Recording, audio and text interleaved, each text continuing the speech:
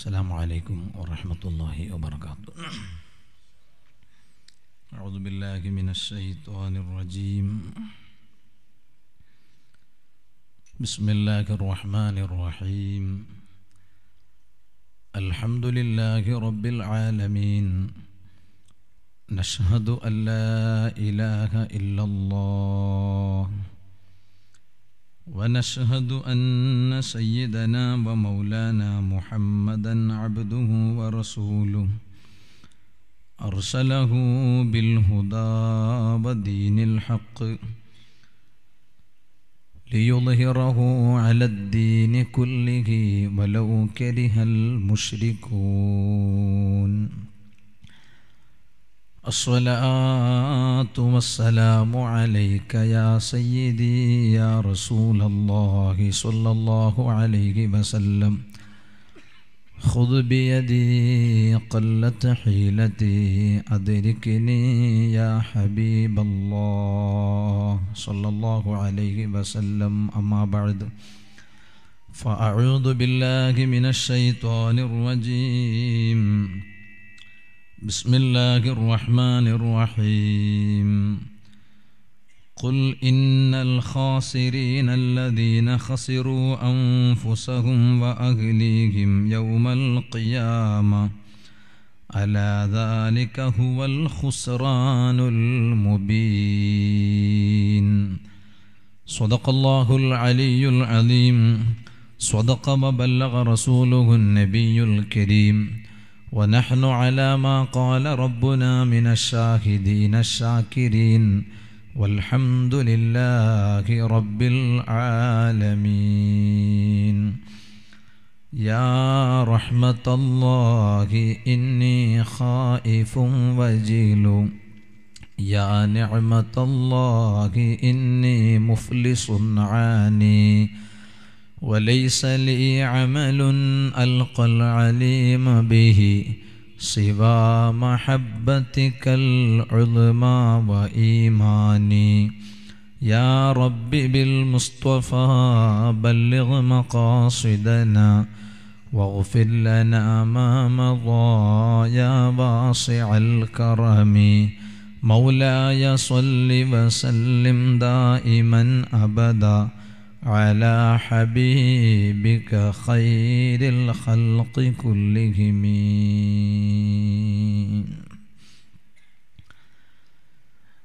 സർവാദരണീയരായ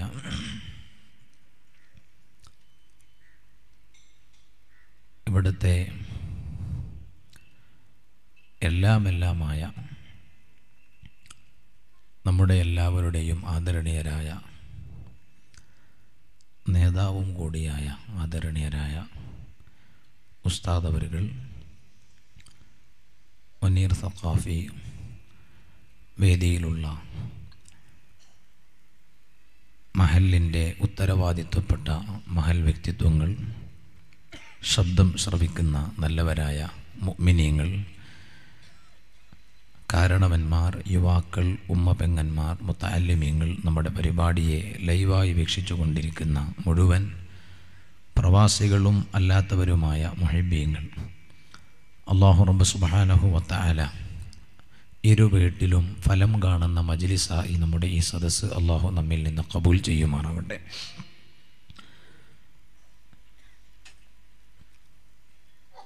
നമ്മുടെ K C road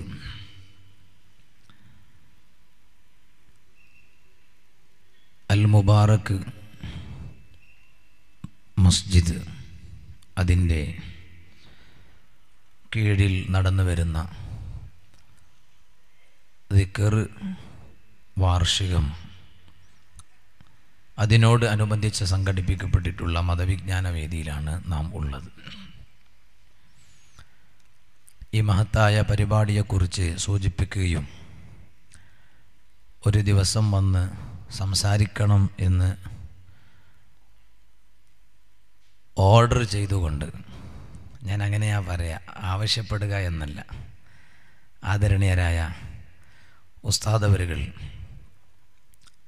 വിളിച്ചപ്പോൾ സാധാരണഗതിയിൽ പലരും വിളിച്ചിട്ട് ഒഴിവുണ്ടോ എന്ന് ചോദിക്കുമ്പോൾ അന്നെങ്കാലും ചിലപ്പോൾ നേരത്തെ ഏറ്റ പരിപാടികളുണ്ടെങ്കിൽ നമ്മൾ ഒഴിവില്ല എന്ന് പറഞ്ഞ് മാറി നിൽക്കല. പക്ഷേ ഒരിക്കലും നമുക്ക് അങ്ങനെ മറുപടി പറയാൻ കഴിയാത്ത വ്യക്തിത്വമായതുകൊണ്ട് തന്നെ ഉസ്താദവരുകൾ വിളിച്ച് ഇങ്ങനെ പരിപാടി നടക്കുന്നു. ഒരു ദിവസം വന്ന് സംസാരിക്കണം. ഒഴിവുണ്ടോ എന്ന് ഉസ്താദ് ചോദിച്ചെങ്കിലും സത്യത്തിൽ ഓരോ ആളുകളും ചോദിക്കുമ്പോൾ അത് വ്യത്യസ്തമായ ആശയങ്ങളിലാണ്. മറ്റുള്ളവർ ചോദിക്കുന്നത് പോലെയല്ല. ഉസ്താദിന്റെ ആ ചോദ്യം സത്യത്തിൽ അതൊരു ഉത്തരവിടുന്നത് പോലെയാണ്. അപ്പോൾ അതുകൊണ്ട് തന്നെ ഇപ്രാവശ്യം ഉസ്താദ് അങ്ങനെ വിളിച്ചപ്പോൾ അലഹമില്ല ഏറ്റെടുക്കാൻ സാധിക്കുകയും അങ്ങനെ ഇവിടെ വരാൻ സാധിക്കുകയും ചെയ്തു. കഴിഞ്ഞ പ്രാവശ്യം എന്ന് തോന്നുന്നു. ഇതിനു മുമ്പ് ഒരു പ്രാവശ്യം. ഉസ്താദവരുകൾ എന്നെ ക്ഷണിച്ചു. പലപ്പോഴും ക്ഷണിച്ചപ്പോൾ ഞാൻ ഇവിടെ വന്നിട്ടുണ്ട്. ഉസ്താദവരുകൾക്ക് വേണ്ടിയാണ് വരുന്നത്. പിന്നെ ഈ നാട്ടുകാർക്ക് വേണ്ടിയും. ഇതിനു മുമ്പ് ഒരു വർഷം എന്നെ വിളിച്ചപ്പോൾ അന്ന് ഒരിക്കലും വരാൻ കഴിയാത്ത സാഹചര്യമായതുകൊണ്ട് ഞാൻ ഉസ്താദിനോടൊരു വാക്ക് പറഞ്ഞു. എനിക്ക് ഏറ്റെടുത്ത് അങ്ങോട്ട് വരാൻ ഇപ്പോൾ ഒരിക്കലും കഴിയില്ല. അതേസമയം ഉസ്താദിന്റെ വാക്ക് മാനിച്ചുകൊണ്ട് നേരത്തെ ഏറ്റ പരിപാടിക്കാരോട് ഞാൻ വരാൻ വരൂല്ല എനിക്ക് വരാൻ കഴിയില്ല എന്ന് പറഞ്ഞ് വേണമെങ്കിൽ ഞാൻ ഇങ്ങോട്ട് വരാം. കാരണം എനിക്കറിയാം ഉസ്താദ് അത് സമ്മതിക്കൂല. ഇത് കേട്ട ഉടനെ ഉസ്താദ് എന്നോട് പറഞ്ഞു അത് വേണ്ട കാരണം താജുൽ ഉലമ ഖദ്ദസല്ലാഹു സറഹുൽ അസീസ് തങ്ങളോട് വലിയ ബന്ധം സ്ഥാപിക്കാൻ അവസരം കിട്ടിയ ഉസ്താദാണ് ആദരണീയരായ ഉസ്താദ് അവരുകൾ. അപ്പോൾ എന്നോട് പറഞ്ഞു താജുൽ ഉലമ എന്നോട് പറഞ്ഞിട്ടുണ്ട് നേരത്തെ ഏറ്റ പരിപാടിയാണെങ്കിൽ അത് ഒരിക്കലും ക്യാൻസൽ ചെയ്ത് വേറെ സ്ഥലത്തേക്ക് പോകാൻ പാടില്ല. അത് അവിടുത്തെ ആളുകൾക്ക് പ്രയാസമുണ്ടാക്കും. സത്യത്തിൽ എനിക്ക് കിട്ടേണ്ടിയിരുന്ന മറുപടിയും അത് തന്നെയായിരുന്നു. അതുകൊണ്ടാണ് ഉസ്താദിനോട് ഞാൻ അങ്ങനെ പറഞ്ഞത്. അലഹമില്ല ഇത്തവണ ഏതായാലും ഇവിടെ വരാൻ സാധിച്ചു. ഞാൻ ഇന്നലെ നീലേശ്വരത്ത് കോട്ടപ്പുറം അവിടെ മറപ്പെട്ട് കിടക്കുന്ന ഫക്കീർ വലിയുല്ലാഹിർ അഹമ്മത്തുല്ലാഹി അലി അവരുടെ ഉറൂസിന്റെ പ്രഭാഷണമായിരുന്നു. അപ്പോൾ ഇന്നലെ ഉണ്ട് ഉസ്താദ് ഇങ്ങോട്ട് വിളിക്കുന്നത് ഇന്നത്തെ പരിപാടി ഓർമ്മപ്പെടുത്താൻ.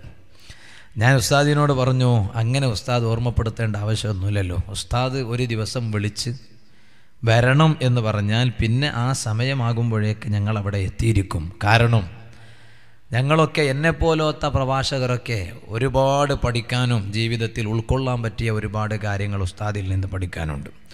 ഞാൻ ഇന്നലെ ഉസ്താദ് വിളിച്ചപ്പോൾ തന്നെ ഞാൻ പറഞ്ഞു ഉസ്താദ് ഞങ്ങളെ ഇങ്ങനെ വിളിക്കുമ്പോൾ ഞങ്ങൾക്ക് ഞങ്ങളുടെ ജീവിതത്തിൽ പഠിക്കാൻ ഒരുപാട് കാര്യങ്ങളുണ്ട് ചില കൃത്യനിഷ്ഠ കാര്യങ്ങളിലൊക്കെ. കാരണം ഞങ്ങൾ മുത്താലിമി മുത്താലിമായി ഓതിപ്പഠിക്കുന്ന സമയത്ത് തന്നെ മുത്താലിമിങ്ങൾക്കറിയാം നമ്മുടെ കിതാബുകളുടെ തുടക്കം മീസാൻ അത് തുടങ്ങി പഠിക്കുന്ന ആ സമയം അതിന്റെ മുമ്പ് തന്നെ ഉസ്താദ് ഉണ്ടെങ്കിലും നമ്മൾ കണ്ട രംഗം പറയാണ്. ആദരണീയരായ ഉസ്താദവരുകൾ പ്രഭാഷണ വേദികളെല്ലാം നിരസാന്നിധ്യമാണ്. ഉസ്താദിന്റെ പ്രഭാഷണത്തെക്കുറിച്ച് പലർക്കും പറയാനുള്ളത് ഒരേ സമയം ചിരിപ്പിക്കാനും കഴിയും കരയിപ്പിക്കാനും കഴിയും. അതൊന്നും ഞങ്ങളെ കൊണ്ട് കഴിയില്ല. ഒരേ സമയത്ത് ചിരിപ്പിക്കാനും കഴിയും ഒരു സദസ്സിൽ ഒരുമിച്ച് കൂടി ആളുകളെ ചിരിപ്പിക്കാനും കഴിയും. അതേ സമയത്ത് കരയിപ്പിക്കാൻ ഉടൻ തന്നെ വിഷയമങ്ങ് മാറ്റിയെടുത്ത് ആ ചിരിപ്പിക്കുന്ന മുഴുവൻ ആളുകളെയും കരയിപ്പിക്കാൻ കഴിയും. അപ്പോൾ ആ ഉസ്താദവരുകളുടെ പ്രഭാഷണങ്ങളൊക്കെ കേട്ടിട്ടാണ് പലപ്പോഴും നമ്മളൊക്കെ ആദ്യകാലത്ത് പ്രസംഗം പഠിച്ചത് തന്നെ. ഇന്ന് അലഹമില്ല അവരൊക്കെ അവരുടെ നേതൃത്വമുള്ള സ്ഥലത്ത് ഞങ്ങളെ ക്ഷണിച്ച് വേദിയിൽ സംസാരിപ്പിക്കുന്നത് തീർച്ചയായും അവരിൽ നിന്ന് നമുക്ക് കിട്ടുന്ന വലിയ സ്നേഹവും അംഗീകാരവുമായി ഞങ്ങൾ മനസ്സിലാക്കുന്നു. അള്ളാഹുവേ ആദരണീയരായ ഉസ്താദവരുകൾക്ക് ദീർഘകാലം ഈ നാട്ടിനും നമുക്കുമെല്ലാം നേതൃത്വം നൽകാൻ നീ ആഫിയത്തുള്ള ദീർഘായുസ് നൽകണേ റഹ്മാനെ.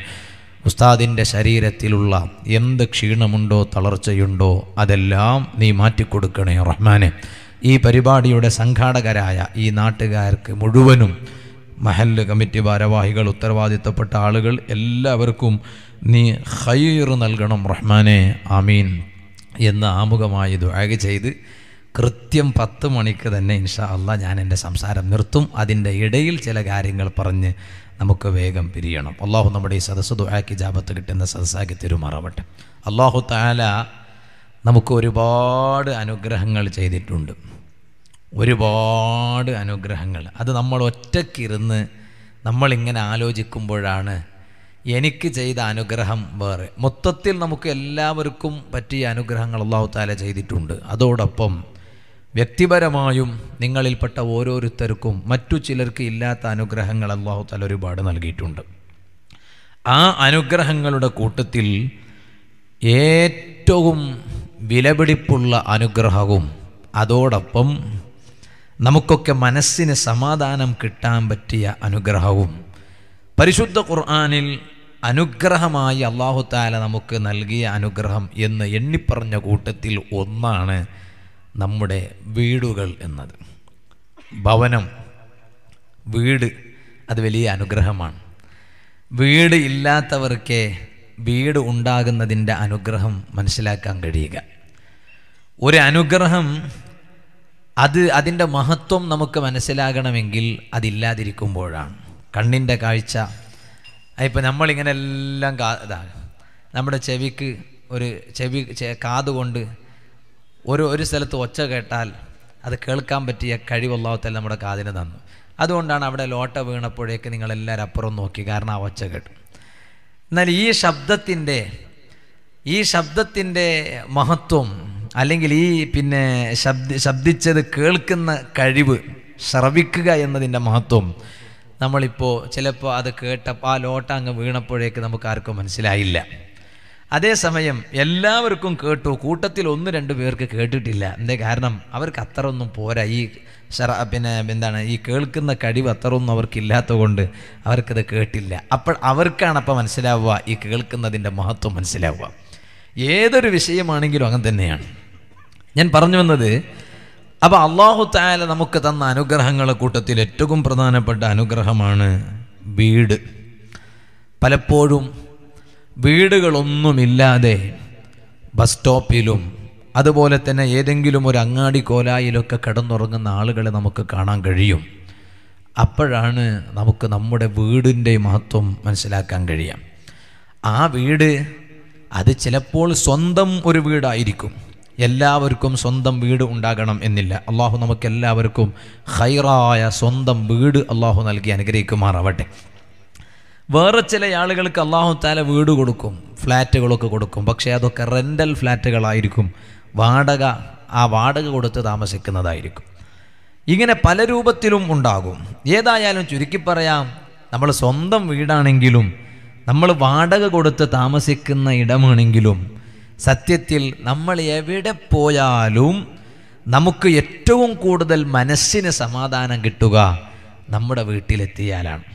ചിലപ്പോൾ നമ്മൾ പോയ സ്ഥലം നമ്മുടെ വീടിനേക്കാൾ എത്രയോ വിശാലമായ വലിയ വീടായിരിക്കും. ചിലപ്പോൾ എന്റെ വീട്ടിൽ എ സി ഉണ്ടാകണമെന്നില്ല. പക്ഷെ ഞാൻ വാതിന് പോയാൽ ഉദാഹരണം പറയാം. വാതിന് പോയാൽ ചിലപ്പോൾ രാത്രിയെങ്കാലം എവിടെയെങ്കിലും കിടന്നുറങ്ങുന്ന സമയത്ത് അവിടെ ചിലപ്പോൾ എ സി ഉണ്ടാകും. എന്നാലും നമുക്കിങ്ങനെ തോന്നിക്കൊണ്ടിരിക്കും. എപ്പോൾ ഒന്ന് വീട്ടിലെത്തിയിട്ടില്ല. അത് തന്നെയല്ലേ? ഇപ്പം നിങ്ങളിപ്പോൾ ഇവിടെ ഇങ്ങനെ വേദലിരിക്കുന്നുണ്ടെങ്കിലും ഈ വേദ കേൾക്കുന്നതുകൊണ്ട് നിങ്ങൾക്കൊന്നും മനസ്സിലാകുന്നില്ല എന്നുള്ളൂ. അതേസമയം നിങ്ങളിപ്പോൾ എപ്പോൾ ഒന്ന് വീട്ടിലെത്തിയിട്ടില്ല എന്ന് ഓരോരുത്തരും അങ്ങനെയാണ്. നമ്മൾ എവിടെ പോയാലും സ്വന്തം വീട്ടിൽ എത്തിയാൽ കിട്ടുന്നൊരു സമാധാനം അത് വേറെ എവിടെയും കിട്ടൂല. പരിശുദ്ധ ഖുർആാനിൽ അള്ളാഹു തായാല പറഞ്ഞു.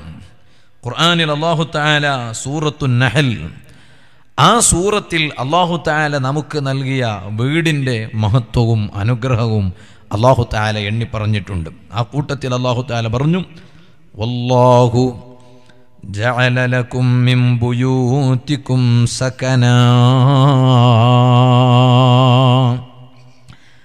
അള്ളാഹു താല നിങ്ങൾക്ക് നൽകിയിരിക്കുന്നു നിങ്ങളെ വീടുകളിൽ നിന്ന് ഇടം നൽകിയിരിക്കുന്നു കാരണം ഏതൊരു മനുഷ്യനും അവന്റെ ആവശ്യത്തിന് വേണ്ടി വീട്ടിൽ നിന്ന് പുറത്തേക്ക് പോയാൽ അവൻ ഏത് സമയത്തും കൊതിക്കുന്നത് അവന്റെ വീട്ടിൽ ഒന്ന് തിരിച്ചെത്തണം എന്നാണ്.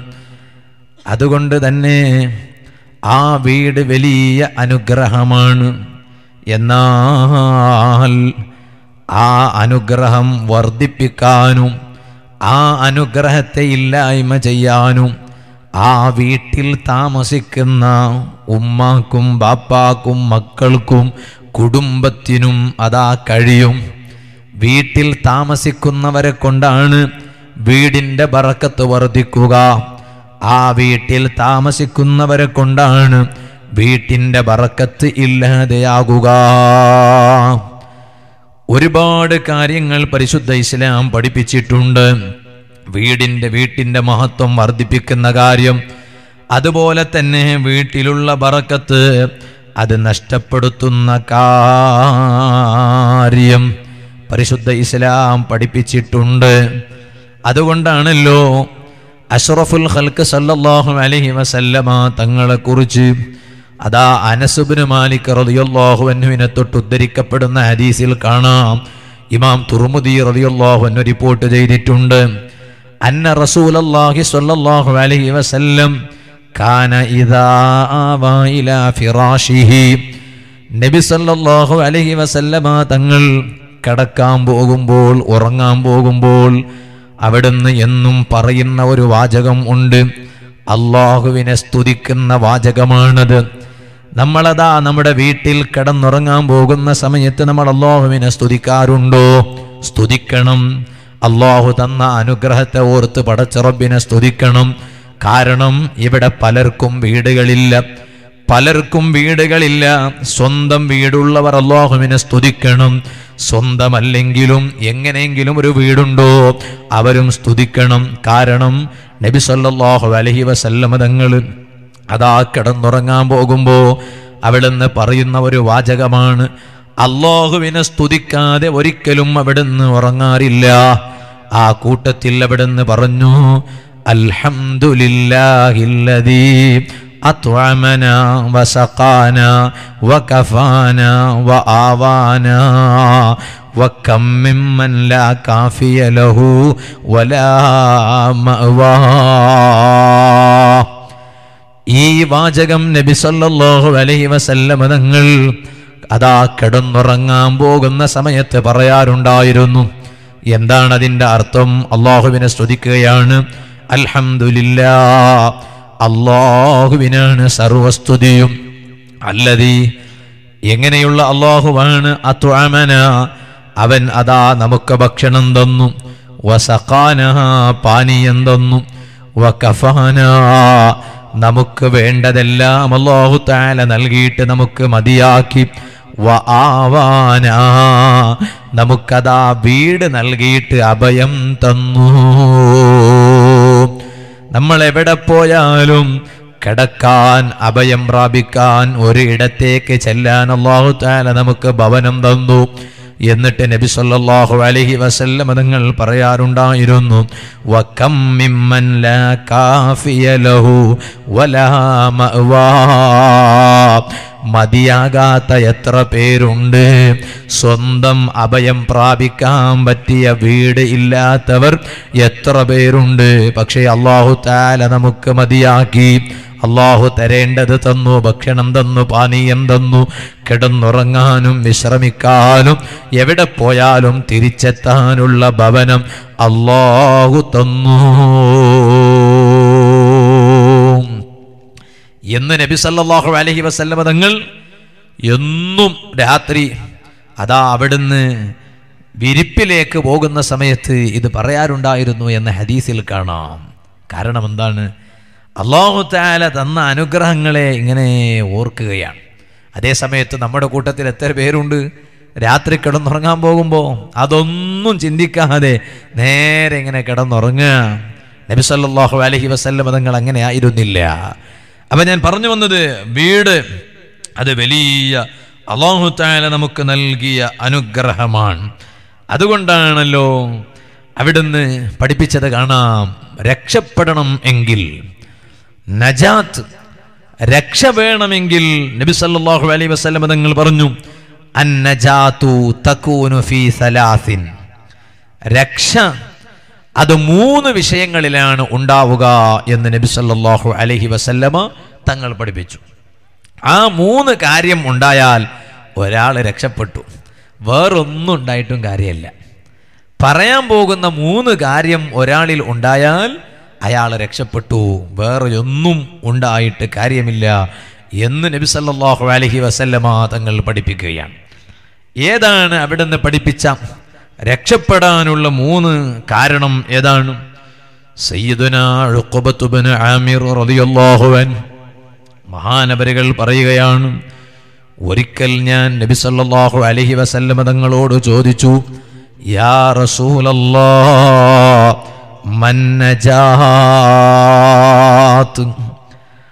രക്ഷ എന്ന് പറഞ്ഞാൽ എന്താണ് നബിയെ? കാല നബി സല്ലല്ലാഹു അലൈഹി വസല്ലമ നിങ്ങൾ പറഞ്ഞു രക്ഷ എന്ന് പറഞ്ഞാൽ അലൈക ലിസാനക്. നിന്റെ നാവിനെ നീ നിയന്ത്രിക്കണം അതാണ് രക്ഷ.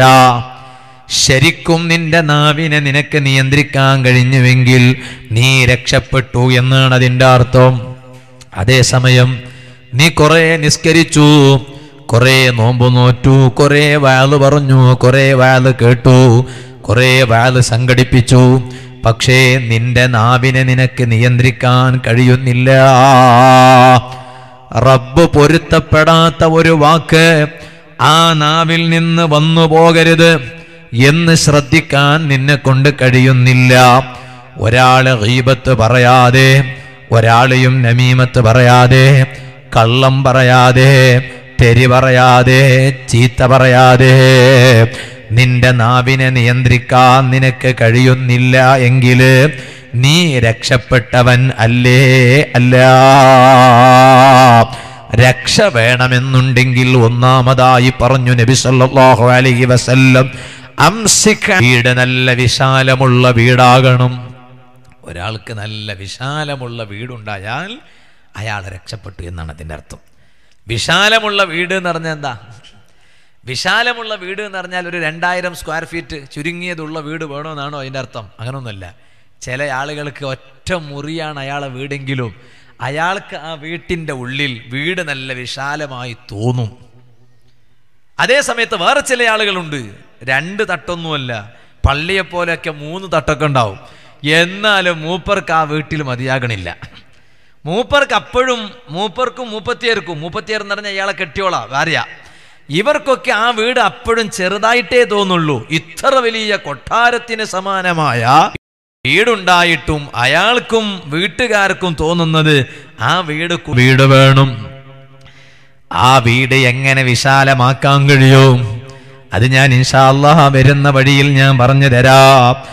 മൂന്നാമതാ ഈ നബി സല്ലല്ലാഹു അലൈഹി വസല്ലമ നിങ്ങൾ പറയാണ് വബക്കി അലാ ഖതീഅതിക് നിന്റെ ജീവിതത്തിൽ തെറ്റ് വന്നു പോയാൽ നീ അതിന്റെ പേരിൽ കരയണം. തെറ്റ് വന്നാൽ കരയണം. തെറ്റ് വരാത്തവർ ആരാണ്? ഓ ചെറുപ്പക്കാരാ വ്യഭിചരിച്ചിട്ടുണ്ടാകും മദ്യപിച്ചിട്ടുണ്ടാകും കൊള്ളയടിച്ചിട്ടുണ്ടാകും. ഇതുപോലെ പല തെറ്റും ചെയ്തിട്ടുണ്ടാകും. ചീട്ട് കളിച്ചിട്ടുണ്ടാകും. മയക്കുമരുന്ന് ഉപയോഗിച്ചിട്ടുണ്ടാകും. നമ്മൾ ആരും മഴസൂമിങ്ങളല്ല ആരാണ് ഇവിടെ വലിയവൻ? തെറ്റ് ചെയ്യുന്നവനെ പരിഹസിക്കാൻ ആർക്കാണ് ഇവിടെ അധികാരമുള്ളവൻ? തെറ്റ് ചെയ്യാത്തവർ എന്ന് സർട്ടിഫിക്കറ്റ് ലഭിച്ചിട്ടുള്ള വിഭാഗം. അതാ മനുഷ്യ വിഭാഗത്തിൽപ്പെട്ടവർ ആരാണ്? അമ്പിയ മുർസലീങ്ങളാണ് കേട്ടോ. അവരൊരിക്കലും തെറ്റ് ചെയ്യൂല. ചെറുപ്പത്തിലും ചെയ്തിട്ടില്ല നുപൂവത്തിനു മുമ്പും ചെയ്തിട്ടില്ല ശേഷവും ചെയ്തിട്ടില്ല. അതാണ് സ്വർഗത്തിലെത്താനുള്ള നല്ല വിശ്വാസം. അതിനെതിരെയുള്ള വിശ്വാസമൊന്നും സ്വർഗത്തിലെത്തിക്കുന്ന വിശ്വാസം അല്ല. ഇരിക്കട്ടെ ഞാൻ പറഞ്ഞു വന്നത്. പക്ഷേ ഒരു മോമിനാണോ അതിനൊരടയാളമുണ്ട്? മോമിനാണ് എങ്കിൽ അതിനൊരു അടയാളമുണ്ട് മഹാന്മാരായ പണ്ഡിതന്മാര് പഠിപ്പിച്ചു. നിനക്ക് രണ്ട് ലക്ഷണം ഉണ്ടായാൽ നീ മോമിനാണെന്നാണ് അതിന്റെ അർത്ഥം. അല്ലാതെ തലയിൽ തൊപ്പി വെച്ചിട്ട് മാത്രമായില്ല. താടിരോമങ്ങൾ ഉണ്ടായിട്ട് മാത്രമായില്ല രണ്ട് ലക്ഷണം നിന്നിലുണ്ടോ? എന്നാൽ ഫഅംത മോമിൻ നീ മോമിനാണ്. അല്ലേ? നീ മോമിനാണെന്ന് സമ്മതിക്കാൻ പ്രയാസമാണ്. ഏതാണ് ആ രണ്ട് ലക്ഷണങ്ങൾ? ഒന്നാമതായി പറഞ്ഞു ഒരു നല്ല കാര്യം ചെയ്താൽ മനസ്സിന് സമാധാനം കിട്ടുന്നുണ്ടോ? ഉളു എടുത്ത് ഒരു രണ്ടര കാറ്റ് നിസ്കരിക്കുമ്പോഴേക്ക് മനസ്സിന് നല്ല സമാധാനം കിട്ടി. ആ ഞാൻ നിസ്കരിച്ചല്ലോ. അങ്ങനെ മനസ്സിന് സമാധാനം കിട്ടുന്നുണ്ടോ എന്ന നീ മോമിനാണെന്ന് അതിന്റെ അർത്ഥം. ആയ സമയത്ത് നിസ്കരിക്കാൻ തുടങ്ങിയിട്ട് കാലം കുറേയായി. അങ്ങനൊന്നുമില്ല. നിസ്കരിക്കുന്നതിന് മുമ്പും നിസ്കരിച്ച ശേഷവും എല്ലാം സവ സവ ഒരുപോലെയാണ്. മനസ്സിന് സമാധാനമൊന്നും കിട്ടുന്നില്ല. എന്നാൽ നീ മൊയ്മിനാണ് എന്ന് പറയാൻ പറ്റൂല. മൊയ്മിനാണ് എങ്കിൽ രണ്ട് അടയാളമുണ്ടെന്നാ പണ്ഡിതന്മാർ പറഞ്ഞത്. ഒന്ന് നീ ഒരു നല്ല കാര്യം ചെയ്താൽ നിന്റെ മനസ്സിന് നല്ല സമാധാനം ഉണ്ടാവും. രണ്ടാമത്തെ ഒരു കാര്യമുണ്ട് എന്താണത്? നീ ഒരു തെറ്റ് ചെയ്താൽ നിന്റെ മനസ്സിൽ വല്ലാത്ത സങ്കടം വന്നുപോയി ദുഃഖം വന്നുപോയി. ഏറ്റവും ചുരുങ്ങിയത് അതെങ്കിലും വേണം. തെറ്റ് വന്നുപോയി സ്വാഭാവികമാണ്. സാഹചര്യത്തിന് വഴങ്ങിയിട്ട് തെറ്റ് വന്നുപോയി.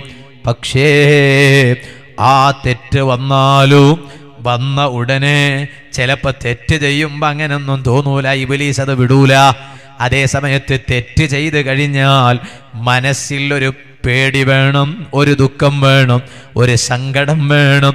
അല്ലാ നീ തന്ന ആരോഗ്യം ഉപയോഗിച്ച് നീ തന്ന കഴിവ് ഉപയോഗിച്ച് നീ തന്ന ശേഷി ഉപയോഗിച്ച് ഞാൻ തെറ്റ് ചെയ്തു പോയല്ലോ എന്ന് ഓർത്തുകൊണ്ടുള്ളൊരു ബേജാറ്. തെറ്റ് ചെയ്താൽ നിന്റെ മനസ്സിൽ ബേജാറുണ്ടായെങ്കിൽ അന്ത നീ മോമിനാണ് കേട്ടോ. അല്ലെങ്കിൽ നീ മോമിനല്ല അതുകൊണ്ടാണ് നബി സല്ലാഹു അലഹി വസല്ലമ നിങ്ങൾ രക്ഷപ്പെട്ടു എന്നതിന്റെ അടയാളം പറഞ്ഞപ്പോൾ മൂന്നാമതായി പറഞ്ഞതാണ് അതാ നീ ഒരു തെറ്റ് ചെയ്താൽ ആ തെറ്റ് ചെയ്തതിന്റെ പേരിൽ നീ കരയണം കേട്ടോ. കരച്ചിൽ വേണം. അള്ളാഹു നമുക്ക് ധാരാളം കരയാനുള്ള ഭാഗ്യം തരട്ടെ. മഹാന്മാരായ പണ്ഡിതന്മാർ പറഞ്ഞു നീ ഒരു വിഭാഗത്തിൽ പെട്ടുപോകരുത്. ലാ തക്കുൻ ഇബ്ലീസ ഫിൽ അലാനിയ. ഇബ്ലീസ് ഇബ്ലീസ്. ആ അങ്ങനെ ആകരുത് എന്നാ പറഞ്ഞു പണ്ഡിതന്മാർ പറഞ്ഞു ലാ തക്കുൻ ഇബ്ലീസ ഫിൽ അലാനിയ വതുതിഉഹു ഫിസ്സിറി വാലിന്റെ മൊയ്ലാർ ഇബിലീസിന്റെ പേര് പറയുമ്പോൾ നിങ്ങളെല്ലാം ജോറായിട്ട് ലാനത്തുള്ളോഹി അലൈന്ന് അറിയും ഞങ്ങൾ ഇബിലീസിന്റെ ആളുകളല്ല. ഞങ്ങൾ ഇബിലീസിന് എതിരാണ്. ഇബിലീസിന് അള്ളാഹുവിന്റെ ശാപമുണ്ടാകട്ടെ. അള്ളാഹുവിന്റെ റഹ്മത്തിനെ തൊട്ട് അള്ളാഹു തല ഇബിലീസിനെ ആട്ടി ഓടിക്കട്ടെ എന്നൊക്കെ നമ്മൾ പറയും. വാലിന്റെ സസിലെല്ലാവരും ഉണ്ടാകുമ്പോൾ നമ്മൾ ഒറ്റയ്ക്ക് കയ്യിൽ മൊബൈലും പിടിച്ചിട്ട് റൂമിൽ കിടക്കുമ്പോഴോ എന്ത് തോന്നിവാസം ചെയ്യുമ്പോഴും ഇബിലീസിനെ അനുസരിക്കാൻ ഒരു മടിയില്ല നീ അങ്ങനെ ആകരുത്. പരസ്യത്തിൽ ഇബിലീസിന് എതിര് സ്വകാര്യമായി ഉണ്ടാകുമ്പോൾ ഇബിലീസിനെ കൂട്ടുപിടിക്കുന്നവനായി നീ അതപ്പതിക്കരുത് മഹാന്മാരായ പണ്ഡിതന്മാർ പറഞ്ഞു ഇതിന്റെ അർത്ഥം ഇബിലീസിന്റെ പേര് കേൾക്കുമ്പോൾ ഈ പറയരുത് എന്നല്ല അത് പറയണം. അത് പരസ്യമായി മാത്രം പറഞ്ഞാൽ പോരാ. ഒറ്റയ്ക്കിരിക്കുമ്പോഴും തെറ്റ് ചെയ്യാൻ തോന്നിയാൽ ഉടൻ തന്നെ പറയണം ലാനത്തുള്ളായി അലയും ഇബിലീസിന് മേലെ അള്ളാഹിന്റെ ശാപുണ്ട് ഞാൻ ഇബിലീസിന്റെ ആളല്ല എന്ന് പറയണം. സുഹൃത്തുക്കളെ ഇരിക്കട്ടെ ഞാൻ പറഞ്ഞു വന്നത് ഞാൻ പറഞ്ഞ വിഷയത്തിലേക്ക് മടങ്ങുകയാണ്. ഞാൻ പറഞ്ഞു വന്നത് വീട്. പല വിഷയങ്ങളും പല സമയത്തും ഇങ്ങനെ പറയാണ്. അപ്പോൾ പറഞ്ഞു തന്നെ ആകണ്ടെന്ന് കരുതിയിട്ടാണ് ഞാനിങ്ങനെ കുറച്ച് കുറച്ച് ഇന്ന് ഇവിടെ അവതരിപ്പിക്കാൻ വേണ്ടി കുറച്ച് വിഷയം കണ്ടുവച്ചിട്ടാണ് ഞാൻ ഇങ്ങോട്ട് വന്നത് തന്നെ. കാരണം ഇന്നിപ്പോൾ യൂട്യൂബിന്റെ കാലമാണ് ഇന്നലെ ഞാൻ നീലേശ്വരത്ത് പ്രസംഗിച്ച വാത് കേട്ടവരുണ്ടാകും. ഇതുപോലെ ഓരോ ദിവസവും ഓരോ ഉസ്താദുമാരും പ്രസംഗിക്കുന്ന ഓരോ വിഷയങ്ങൾ ലൈവായി കാണുന്നവരും കേൾക്കുന്നവരൊക്കെ ഉണ്ടാവും. അപ്പോൾ അതേ സമയത്ത് കേട്ടത് തന്നെ കേൾക്കണ്ടെന്ന് കരുതിയിട്ട് അങ്ങനെ പറയാണ്. അപ്പോൾ ഇൻഷാല്ല ഞാൻ പറഞ്ഞു വന്നത് വീട്. വീട് വലിയ റഹ്മത്താണ്. ആ വീടിനെ സംബന്ധിച്ച് ധാരാളം പറഞ്ഞു. എന്നാൽ ഈ വീടിനെ സംബന്ധിച്ച് പറഞ്ഞ കൂട്ടത്തിൽ പരിശുദ്ധ ഇസ്ലാം പഠിപ്പിച്ചു. വീട് ഉണ്ടാക്കുന്നതിന് മുമ്പ് നീ തീരുമാനിക്കേണ്ടുന്നൊരു കാര്യമുണ്ട്. ഞാൻ ചെറിയ രൂപത്തിൽ ഒന്ന് സ്പർശിക്കുകയാണ്. വീടുണ്ടാക്കുന്നതിന് മുമ്പ് നീ തീരുമാനിക്കേണ്ടുന്ന ഒരു കാര്യം എന്താ അറിയോ കാര്യം മറ്റൊന്നുമല്ല. ആ വീട്ടിൽ കൊണ്ടുപോയി കൂടെ ഇരുത്തേണ്ടുന്ന പെണ്ണിനെ നല്ല നിനക്ക് കുടുംബജീവിതം നയിക്കാൻ പറ്റിയ പെണ്ണാക്കണമെന്നാണ്. നല്ലൊരു പെണ്ണിനെ നീ തിരഞ്ഞെടുക്കണം എന്നാണ്. ആ പെണ്ണിനെ തിരഞ്ഞെടുക്കുന്ന സമയത്ത് ഏത് നോക്കിയിട്ട് തിരഞ്ഞെടുക്കണം? നബി സല്ലാഹു അലൈഹി വസ്ലം പറഞ്ഞു ഫൽഫർ ബിദാത്തിദ്ദീൻ നല്ല ദീനീ ബോധമുള്ള പെണ്ണിനെ തിരഞ്ഞെടുക്കണം എന്ന് അഷറഫുൽ ഖൽക്ക് മുഹമ്മദ് റസൂലുല്ലാഹി എന്നാലേ വീട്ടിൽ നിനക്ക് സമാധാനം കിട്ടുള്ളൂ. ദീനി ബോധമുള്ള ഒരു പെണ്ണിനെ തിരഞ്ഞെടുത്താലേ നിനക്ക് വീട്ടിൽ സമാധാനം കിട്ടുള്ളൂ. അതുകൊണ്ട് നീ അക്കാര്യം പ്രത്യേകിച്ച് ശ്രദ്ധിക്കണം എന്ന് നബി സല്ലാഹു അലൈഹി വസല്ലം പറഞ്ഞു. എന്നാൽ ഒരു പെണ്ണിനോടും ഇസ്ലാം പറഞ്ഞു. നബി സല്ലാ അലൈഹി വസല്ലം നിങ്ങൾ പറഞ്ഞു നീയും തിരഞ്ഞെടുക്കുന്ന സമയത്ത് നീ കോളേജിൽ പഠിക്കുന്ന ഏതെങ്കിലും ഒരു അന്യ ചെറുപ്പക്കാരനെ പരിചയപ്പെട്ട് നീ അവനെ നിന്റെ ജീവിതത്തിലുള്ളൊരു പങ്കാളിയായി തെരഞ്ഞെടുത്തുകൂടാ. അങ്ങനെയൊരു അധികാരം നിനക്കില്ല. ചില പെൺകുട്ടികളുണ്ട്.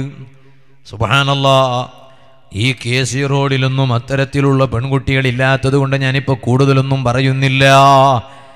ചില പെൺകുട്ടികൾ ബാപ്പാനോട് പറയും ബാപ്പ ഞാൻ പഠിക്കാൻ പോവാണ്. ഉമ്മാനോട് പറയും ഉമ്മ ഞാൻ പഠിക്കാൻ പോവാണ്. പാവം ഈ ബാപ്പയും ഉമ്മയും അവർ മനസ്സിലാക്കുന്നത് ഇവൾ ഞങ്ങളോട് പറയും പോലെ പഠിക്കാൻ തന്നെ പോവുകയാണ് എന്നാണ്.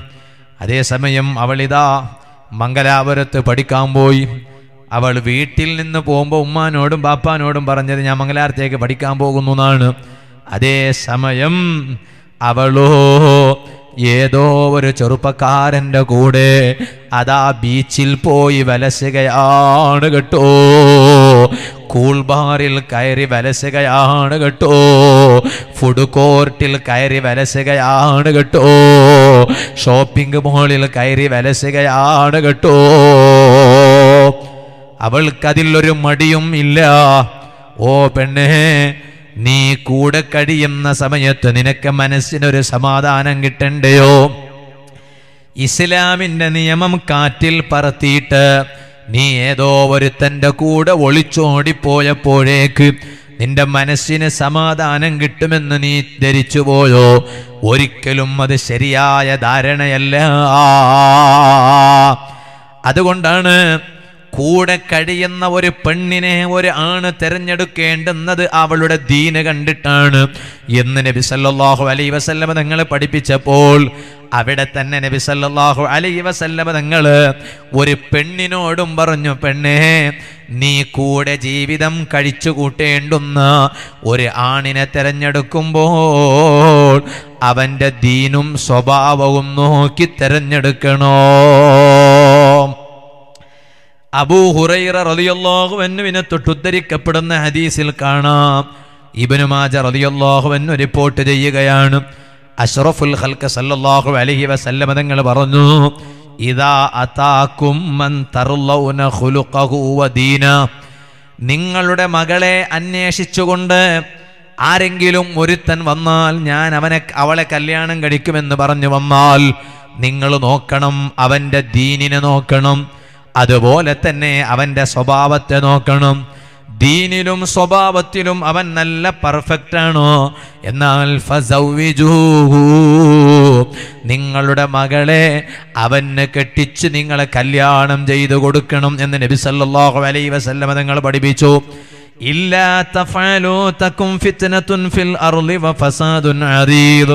അതേ നിങ്ങൾ അത്രയും നല്ല സ്വഭാവമുള്ള ഒരുത്തൻ വന്ന് ദീനുള്ള ഒരുത്തൻ വന്ന് നിങ്ങളെ മകളെ കെട്ടുന്നു എന്ന് പറയുമ്പോൾ നിങ്ങൾ മാറി നിന്നതാണോ? എന്നാൽ ഭൂമിയിൽ അതാ ഫിത്തന വ്യാപിക്കും വിശാലമായ ഫസാദ് വ്യാപിക്കും കേട്ടോ. ഏതാണ് ആ ഫിത്തന ആ ഫിത്തനയുടെ ഒരു പ്രധാനപ്പെട്ട ഭാഗമാണ് അതാ ഒളിച്ചോട്ടോ. പിന്നെ നിങ്ങൾ അതാ അവൾ അവൾ തന്നെ തെരഞ്ഞെടുത്ത് അവർ കണ്ടുകിട്ടിയവന്റെ കൂടെ അവൾ ഒളിച്ചോടുകയാണ്. പിന്നെ അവൾ ഒളിച്ചോടിയപ്പോൾ നിങ്ങൾ അവളെ വീണ്ടും വിളിക്കാൻ വേണ്ടി ശ്രമിക്കുമ്പോൾ അതാ അവൾ പോലീസ് സ്റ്റേഷനിൽ കയറി. അപ്പൊ ഇന്നേ വരെ നിങ്ങൾ സ്റ്റേഷനിൽ കയറിയിട്ടില്ല. ഇവളെ ബാപ്പ ഇന്നേ വരെ സ്റ്റേഷനിൽ കയറിയിട്ടില്ല. ഇവളെ ഉമ്മ ഇന്നേ വരെ സ്റ്റേഷനിൽ കയറിയിട്ടില്ല. അയാൾക്ക് പള്ളിയിൽ കയറിയിട്ടേ പരിചയമുള്ളൂ. ആ ബാപ്പക്ക് സ്റ്റേഷനിൽ കയറിയിട്ട് പരിചയമില്ല. പക്ഷേ ഇവൾ കാരണമായി ആ ബാപ്പയും ഉമ്മയും സ്റ്റേഷനിൽ കയറേണ്ടി വന്നു. ആ സ്റ്റേഷനിൽ പോയി അവളെ വിളിച്ചിട്ടു. അവൾ അതാ തിരിച്ചു വരുന്നില്ല. എനിക്ക് ബാപ്പ വേണ്ട എനിക്കുമ്മ വേണ്ട എനിക്ക് ഫ്രണ്ട് മതിയൻ എന്ന് നബി സല്ലാ അലൈഹി സ്വലം തങ്ങൾ പഠിപ്പിച്ചു. അവർ നിങ്ങൾ എന്താക്കണ്ട? പള്ളിയിൽ വരണ്ട. എന്നാലും ചില ബുദ്ധിയില്ലാത്ത സ്ത്രീകൾ ഉണ്ടാകും അവരിങ്ങനെ കൂലി കിട്ടാൻ വേണ്ടി പള്ളിയിൽ വന്ന് നിസ്കരിക്കുന്നവരുണ്ടാകും. അള്ളാഹു താല അവർക്കൊക്കെ നല്ല ബോധം കൊടുക്കട്ടെ. എന്നാൽ ഞാൻ പറഞ്ഞു വന്നത് എന്നാ പള്ളിയിൽ വന്ന് നിസ്കരിക്കണമെന്ന് പുരുഷന്മാരോട് പറഞ്ഞ നബി സല്ലല്ലാഹു അലഹി വസല്ലം തങ്ങൾ പറഞ്ഞു ഓ പുരുഷന്മാരെ നിങ്ങൾ ഫർൾ നിസ്കരിക്കാനൊക്കെ പള്ളിയിൽ വന്നാലും നിങ്ങൾ ശ്രദ്ധിക്കേണ്ടുന്നൊരു കാര്യം കേട്ടോ അതെന്താണെന്നറിയോ? നിങ്ങൾ സുന്നത്ത് നിസ്കാരം കഴിവിന്റെ പരമാവധി വീട്ടിൽ നിസ്കരിക്കണം എന്ന് മുഹമ്മദ് റസൂലുള്ളാഹി വസല്ലം. അതിന് ഞാൻ ചോദിക്കട്ടെ ഉമ്മമാരോട് ഈ ഉമ്മമാർക്കൊക്കെ വീട്ടിൽ സുന്നത്ത് നിസ്കാരം ധാരാളം നിസ്കരിക്കാൻ എവിടെ നേരം? ഈ ഉമ്മമാർക്കൊക്കെ ഇവിടുത്തെ ഉമ്മമാരെ കുറിച്ച് ഞാൻ പറയല്ല. ചില ഉമ്മമാർക്കൊക്കെ വീട്ടിൽ സുന്നത്ത് നിസ്കരി അധികരിച്ച് നിസ്കരിക്കാൻ എവിടെ നേരം? എന്റെ കാരണം ഞാനിത് വെറുതെ പറയല്ല. കാരണം അതാ അവരെ കാണുന്നത് മുഴുവനും എക്സിബിഷൻ സ്ഥലങ്ങളിലാണ്. ഇന്നാലില്ലാഹിവ ഇന്നായിലേക്ക് രാജു ഞാനൊരു വലിയ മുസീബത്ത് പറയട്ടെ. പലപ്പോഴും മംഗലാപുരം വിട്ട് ഞാൻ ഇതിലൂടെ വാതിന് പോകുമ്പോ എന്തിനേരെ പറയണം? ഇന്നലെ ഞാൻ ഇതിലൂടെ അങ്ങ് നീലേശ്വരത്തേക്ക് വാതിന് പോകുമ്പോഴും ഞാൻ കണ്ട രംഗം പറയാണ് ഒരിടത്ത് എക്സിബിഷൻ കളി നടക്കുന്നു. ആ എക്സിബിഷൻ കളി നടക്കുന്ന സമയത്ത് വെളിച്ചം കണ്ടു കറങ്ങുന്ന യന്ത്രം കണ്ടപ്പോൾ മെല്ലെ അങ്ങ് തിരിഞ്ഞു നോക്കിയപ്പോ കാണുന്നത് മുഴുവനും പറത ധരിച്ച ഉമ്മമാരെയാണല്ലോ. പറത ധരിച്ച സഹോദരിമാരെയാണല്ലോ. അവർക്ക് എൻ ആർ സി വിഷയമേ അല്ല. സുബാന ജല്ല ജലാലുഹു അവർക്ക് എൻ ആർ സി വിഷയമല്ല. അവർക്ക് പൗരത്വ ഭേദഗതി വിഷയമല്ല. അവർക്ക് സി എ വിഷയമല്ല. അവർക്ക് എം പി ആർ വിഷയമല്ല. അവർക്ക് വലുത് എക്സിബിഷനിൽ പോയിട്ടുള്ള അഴിഞ്ഞാട്ടമാണ്. ചാടിക്കളിക്കലാണ്.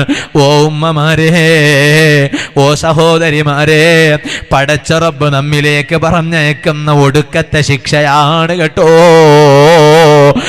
ഇരുപത്തിരണ്ടാം തീയതി വിധി പുറത്തേക്ക് വരികയാണ്.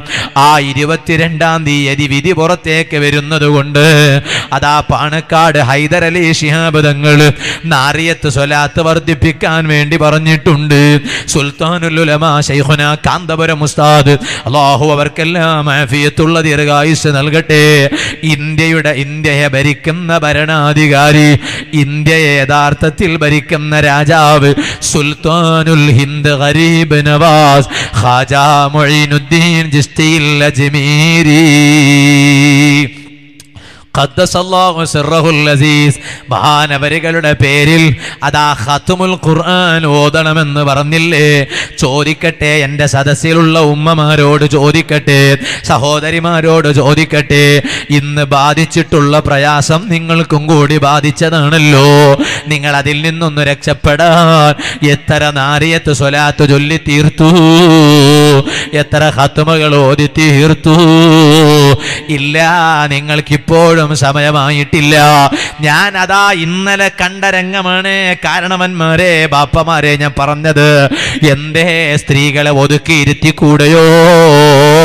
ആ സ്ത്രീകളെ ഇരുത്തേണ്ടടുത്ത് ഇരുത്തിക്കൂടെയോ അടിഞ്ഞാടുകയാണ് എക്സിബിഷനിൽ പോയി തുള്ളിക്കളിക്കുകയാണ് ചാടിക്കളിക്കുകയാണ്. ഓ ഉമ്മമാരെ ഈ ശിക്ഷയെ നേരിടാൻ നിങ്ങളെ കൊണ്ട് കഴിയുമോ? അതിനുള്ള തൊലിക്കട്ടി നിങ്ങളെ ദേഹത്തിനുണ്ടോ? നിങ്ങളെ ശരീരത്തിനുണ്ടോ? നിങ്ങളെ അവയവങ്ങൾക്കുണ്ടോ? തെരുവിലിറങ്ങിയിട്ട് കൊടിയും പിടിച്ചിട്ട് പ്രൊട്ടസ്റ്റിന് ഇറങ്ങിയത് കൊണ്ട് മാത്രമായോ? ഇതൊക്കെ ചിന്തിക്കേണ്ടതല്ലേ ഉമ്മമാരെ? വയ്യായ ഫർഹബൂ. നിങ്ങളൊരു ഭരണാധികാരിയെയും പേടിക്കേണ്ടതില്ല. തൊഴുത്തിൽ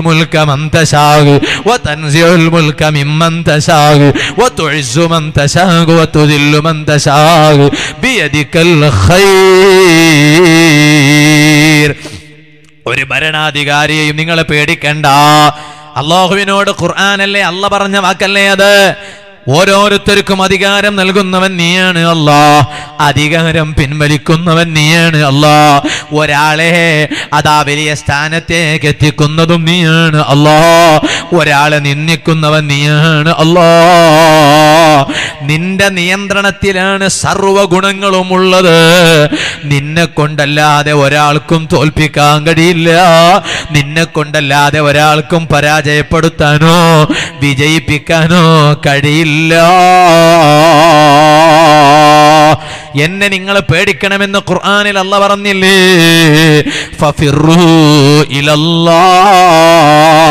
നിങ്ങൾ ആരുടെ അരികിൽ ഓടിപ്പോയിട്ടൊന്നും കാര്യമില്ല.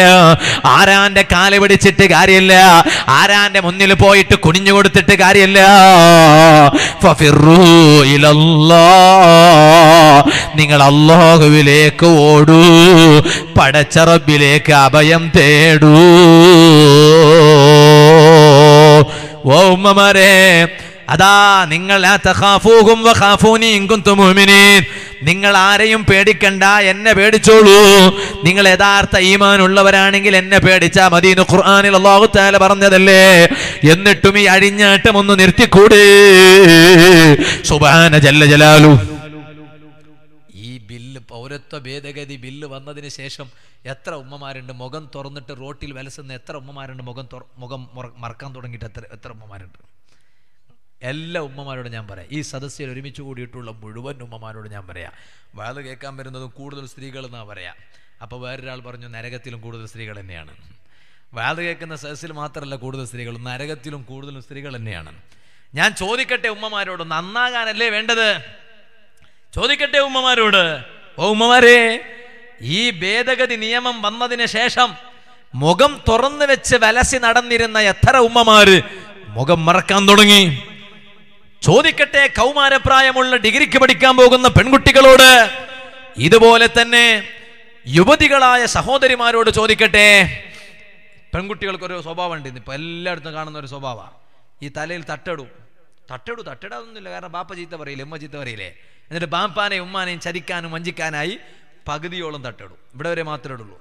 ഫുള്ളായിട്ട് ഇടാൻ പറ്റും. അതിന് മാത്രം വലിപ്പമുണ്ട് വിശാലമുണ്ട്. പക്ഷെ ഇവിടെ വരെ മാത്രം ഇടും. എന്നിട്ട് നേരെ മുന്നിലോ മുടി ഇങ്ങനെ ക്രോപ്പ് കാണിച്ചിട്ട് ഒരു കുറച്ച് മുടിന്റെ കെട്ടിങ്ങനെ പുറത്തേക്ക് ഷാലിന്റെ പുറത്ത് വീണില്ലെങ്കിലോ ഇപ്പെണ്ണിന് പുറത്തേക്ക് പോകാൻ മനസ്സ് വരുന്നില്ല. നമ്മളൊന്ന് ആലോചിച്ച് നോക്ക്. സഹോദരിമാരോട് പറയാണ് നിലനിൽപ്പിന്റെ വിഷയമാണ് വന്നിട്ടുള്ളത്. നമ്മൾ കുറെ മുമ്പൊക്കെ വേല പറയുമ്പോൾ നമ്മൾ പറയാറുണ്ടായിരുന്നു ഇത് എവിടെയോ നടക്കുന്നതാണ് വൈകാതെ നമ്മുടെ നാട്ടിൽ വരുമെന്ന്. ഇപ്പൊ നമ്മുടെ നാട്ടിൽ എത്തിയല്ലോ. ഇന്ത്യയുടെ പല സ്ഥലങ്ങളിലല്ലേ മദ്രസയിൽ പഠിക്കാൻ പോകുന്ന കുട്ടികളെ പോലും ആക്രമിക്കുന്ന രംഗം കണ്ടുകൊണ്ടിരിക്കുന്നത്? പല ആളുകളെയും ആക്രമിക്കപ്പെടുന്ന രംഗം കണ്ടുകൊണ്ടിരിക്കുന്നത് ഇനിയെങ്കിലും ഒന്ന് മാറി ചിന്തിച്ചുകൂടെ മാറി ആലോചിച്ചുകൂടെ. സുബാനല്ലോ ഓ ഉമ്മമാരെ നിങ്ങൾക്കറിയുമോ? ഒരു മഹതിയെ കുറിച്ച് അറിയാമോ? ആരാണ് ആ മഹതി എന്നറിയാമോ? ഫാത്തിമ ബിന്ത് നസ്ർ ആ ഫാത്തിമ ബിന്ത് നസർ ആരാണ്? ആ മഹദി വഫാത്തായപ്പോൾ അതാ ഒരുപാട് ജനങ്ങൾ മയ്യത്തിന്റെ ചാരത്ത് ഒരുമിച്ച് കൂടിപ്പോയി അങ്ങാടിയിൽ വലിയ തിരക്കാണ്. എന്തേ തിരക്ക്? തിരക്ക് വേറൊന്നുമല്ല. നാല് അടിയാർ കണ്ണൂരിൽ പ്രൊട്ടസ്റ്റ് നടക്കാൻ പോവാണ്. നിങ്ങളെല്ലാവരും അവിടെ എത്തണം. അത് ഏതെങ്കിലും ഒരു മതവിശ്വാസികളുടേതല്ല എല്ലാവരും സംഗമിക്കുന്ന മഹത്തായ പ്രതിഷേധ പ്രകടനമാണ് സമ്മേളനമാണ്. അതിനെല്ലാ പ്രസ്ഥാനക്കാരുമുണ്ട് എല്ലാ സംഘടനക്കാരുമുണ്ട്. എല്ലാവരും ഉണ്ട്. അതുകൊണ്ട് എല്ലാവരും അവിടെ എത്തിച്ചേരണമെന്ന് സാന്ദർഭികമായി ഓർമ്മപ്പെടുത്തുകയാണ്. ഇരിക്കട്ടെ ഞാൻ പറഞ്ഞു വന്നത് അങ്ങനെ ഒരു സമരത്തിന് വേണ്ടി ഒരുമിച്ച് കൂടിയ ആളല്ല. ഫാത്തിമ വഫാത്തായപ്പോൾ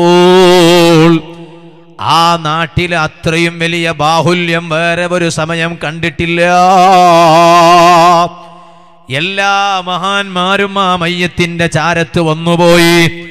എല്ലാ നേതാക്കൾ അവിടെ എത്തിപ്പോയി. നാട്ടുകാരെന്ന് മാത്രമല്ല പലയിടത്തു നിന്നും പലരും അവിടെ ഒരുമിച്ച് കൂടിപ്പോയി. ആ മഹതിയുടെ മയ്യത്ത് കൊണ്ടുപോകാൻ എന്തൊരു തിരക്കാണ് ഉമ്മ.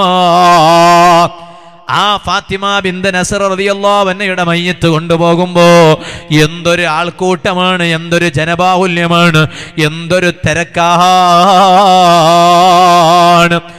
മയ്യത്ത് കൊണ്ടുപോയി ഖബറിൽ മറവ് ചെയ്തു.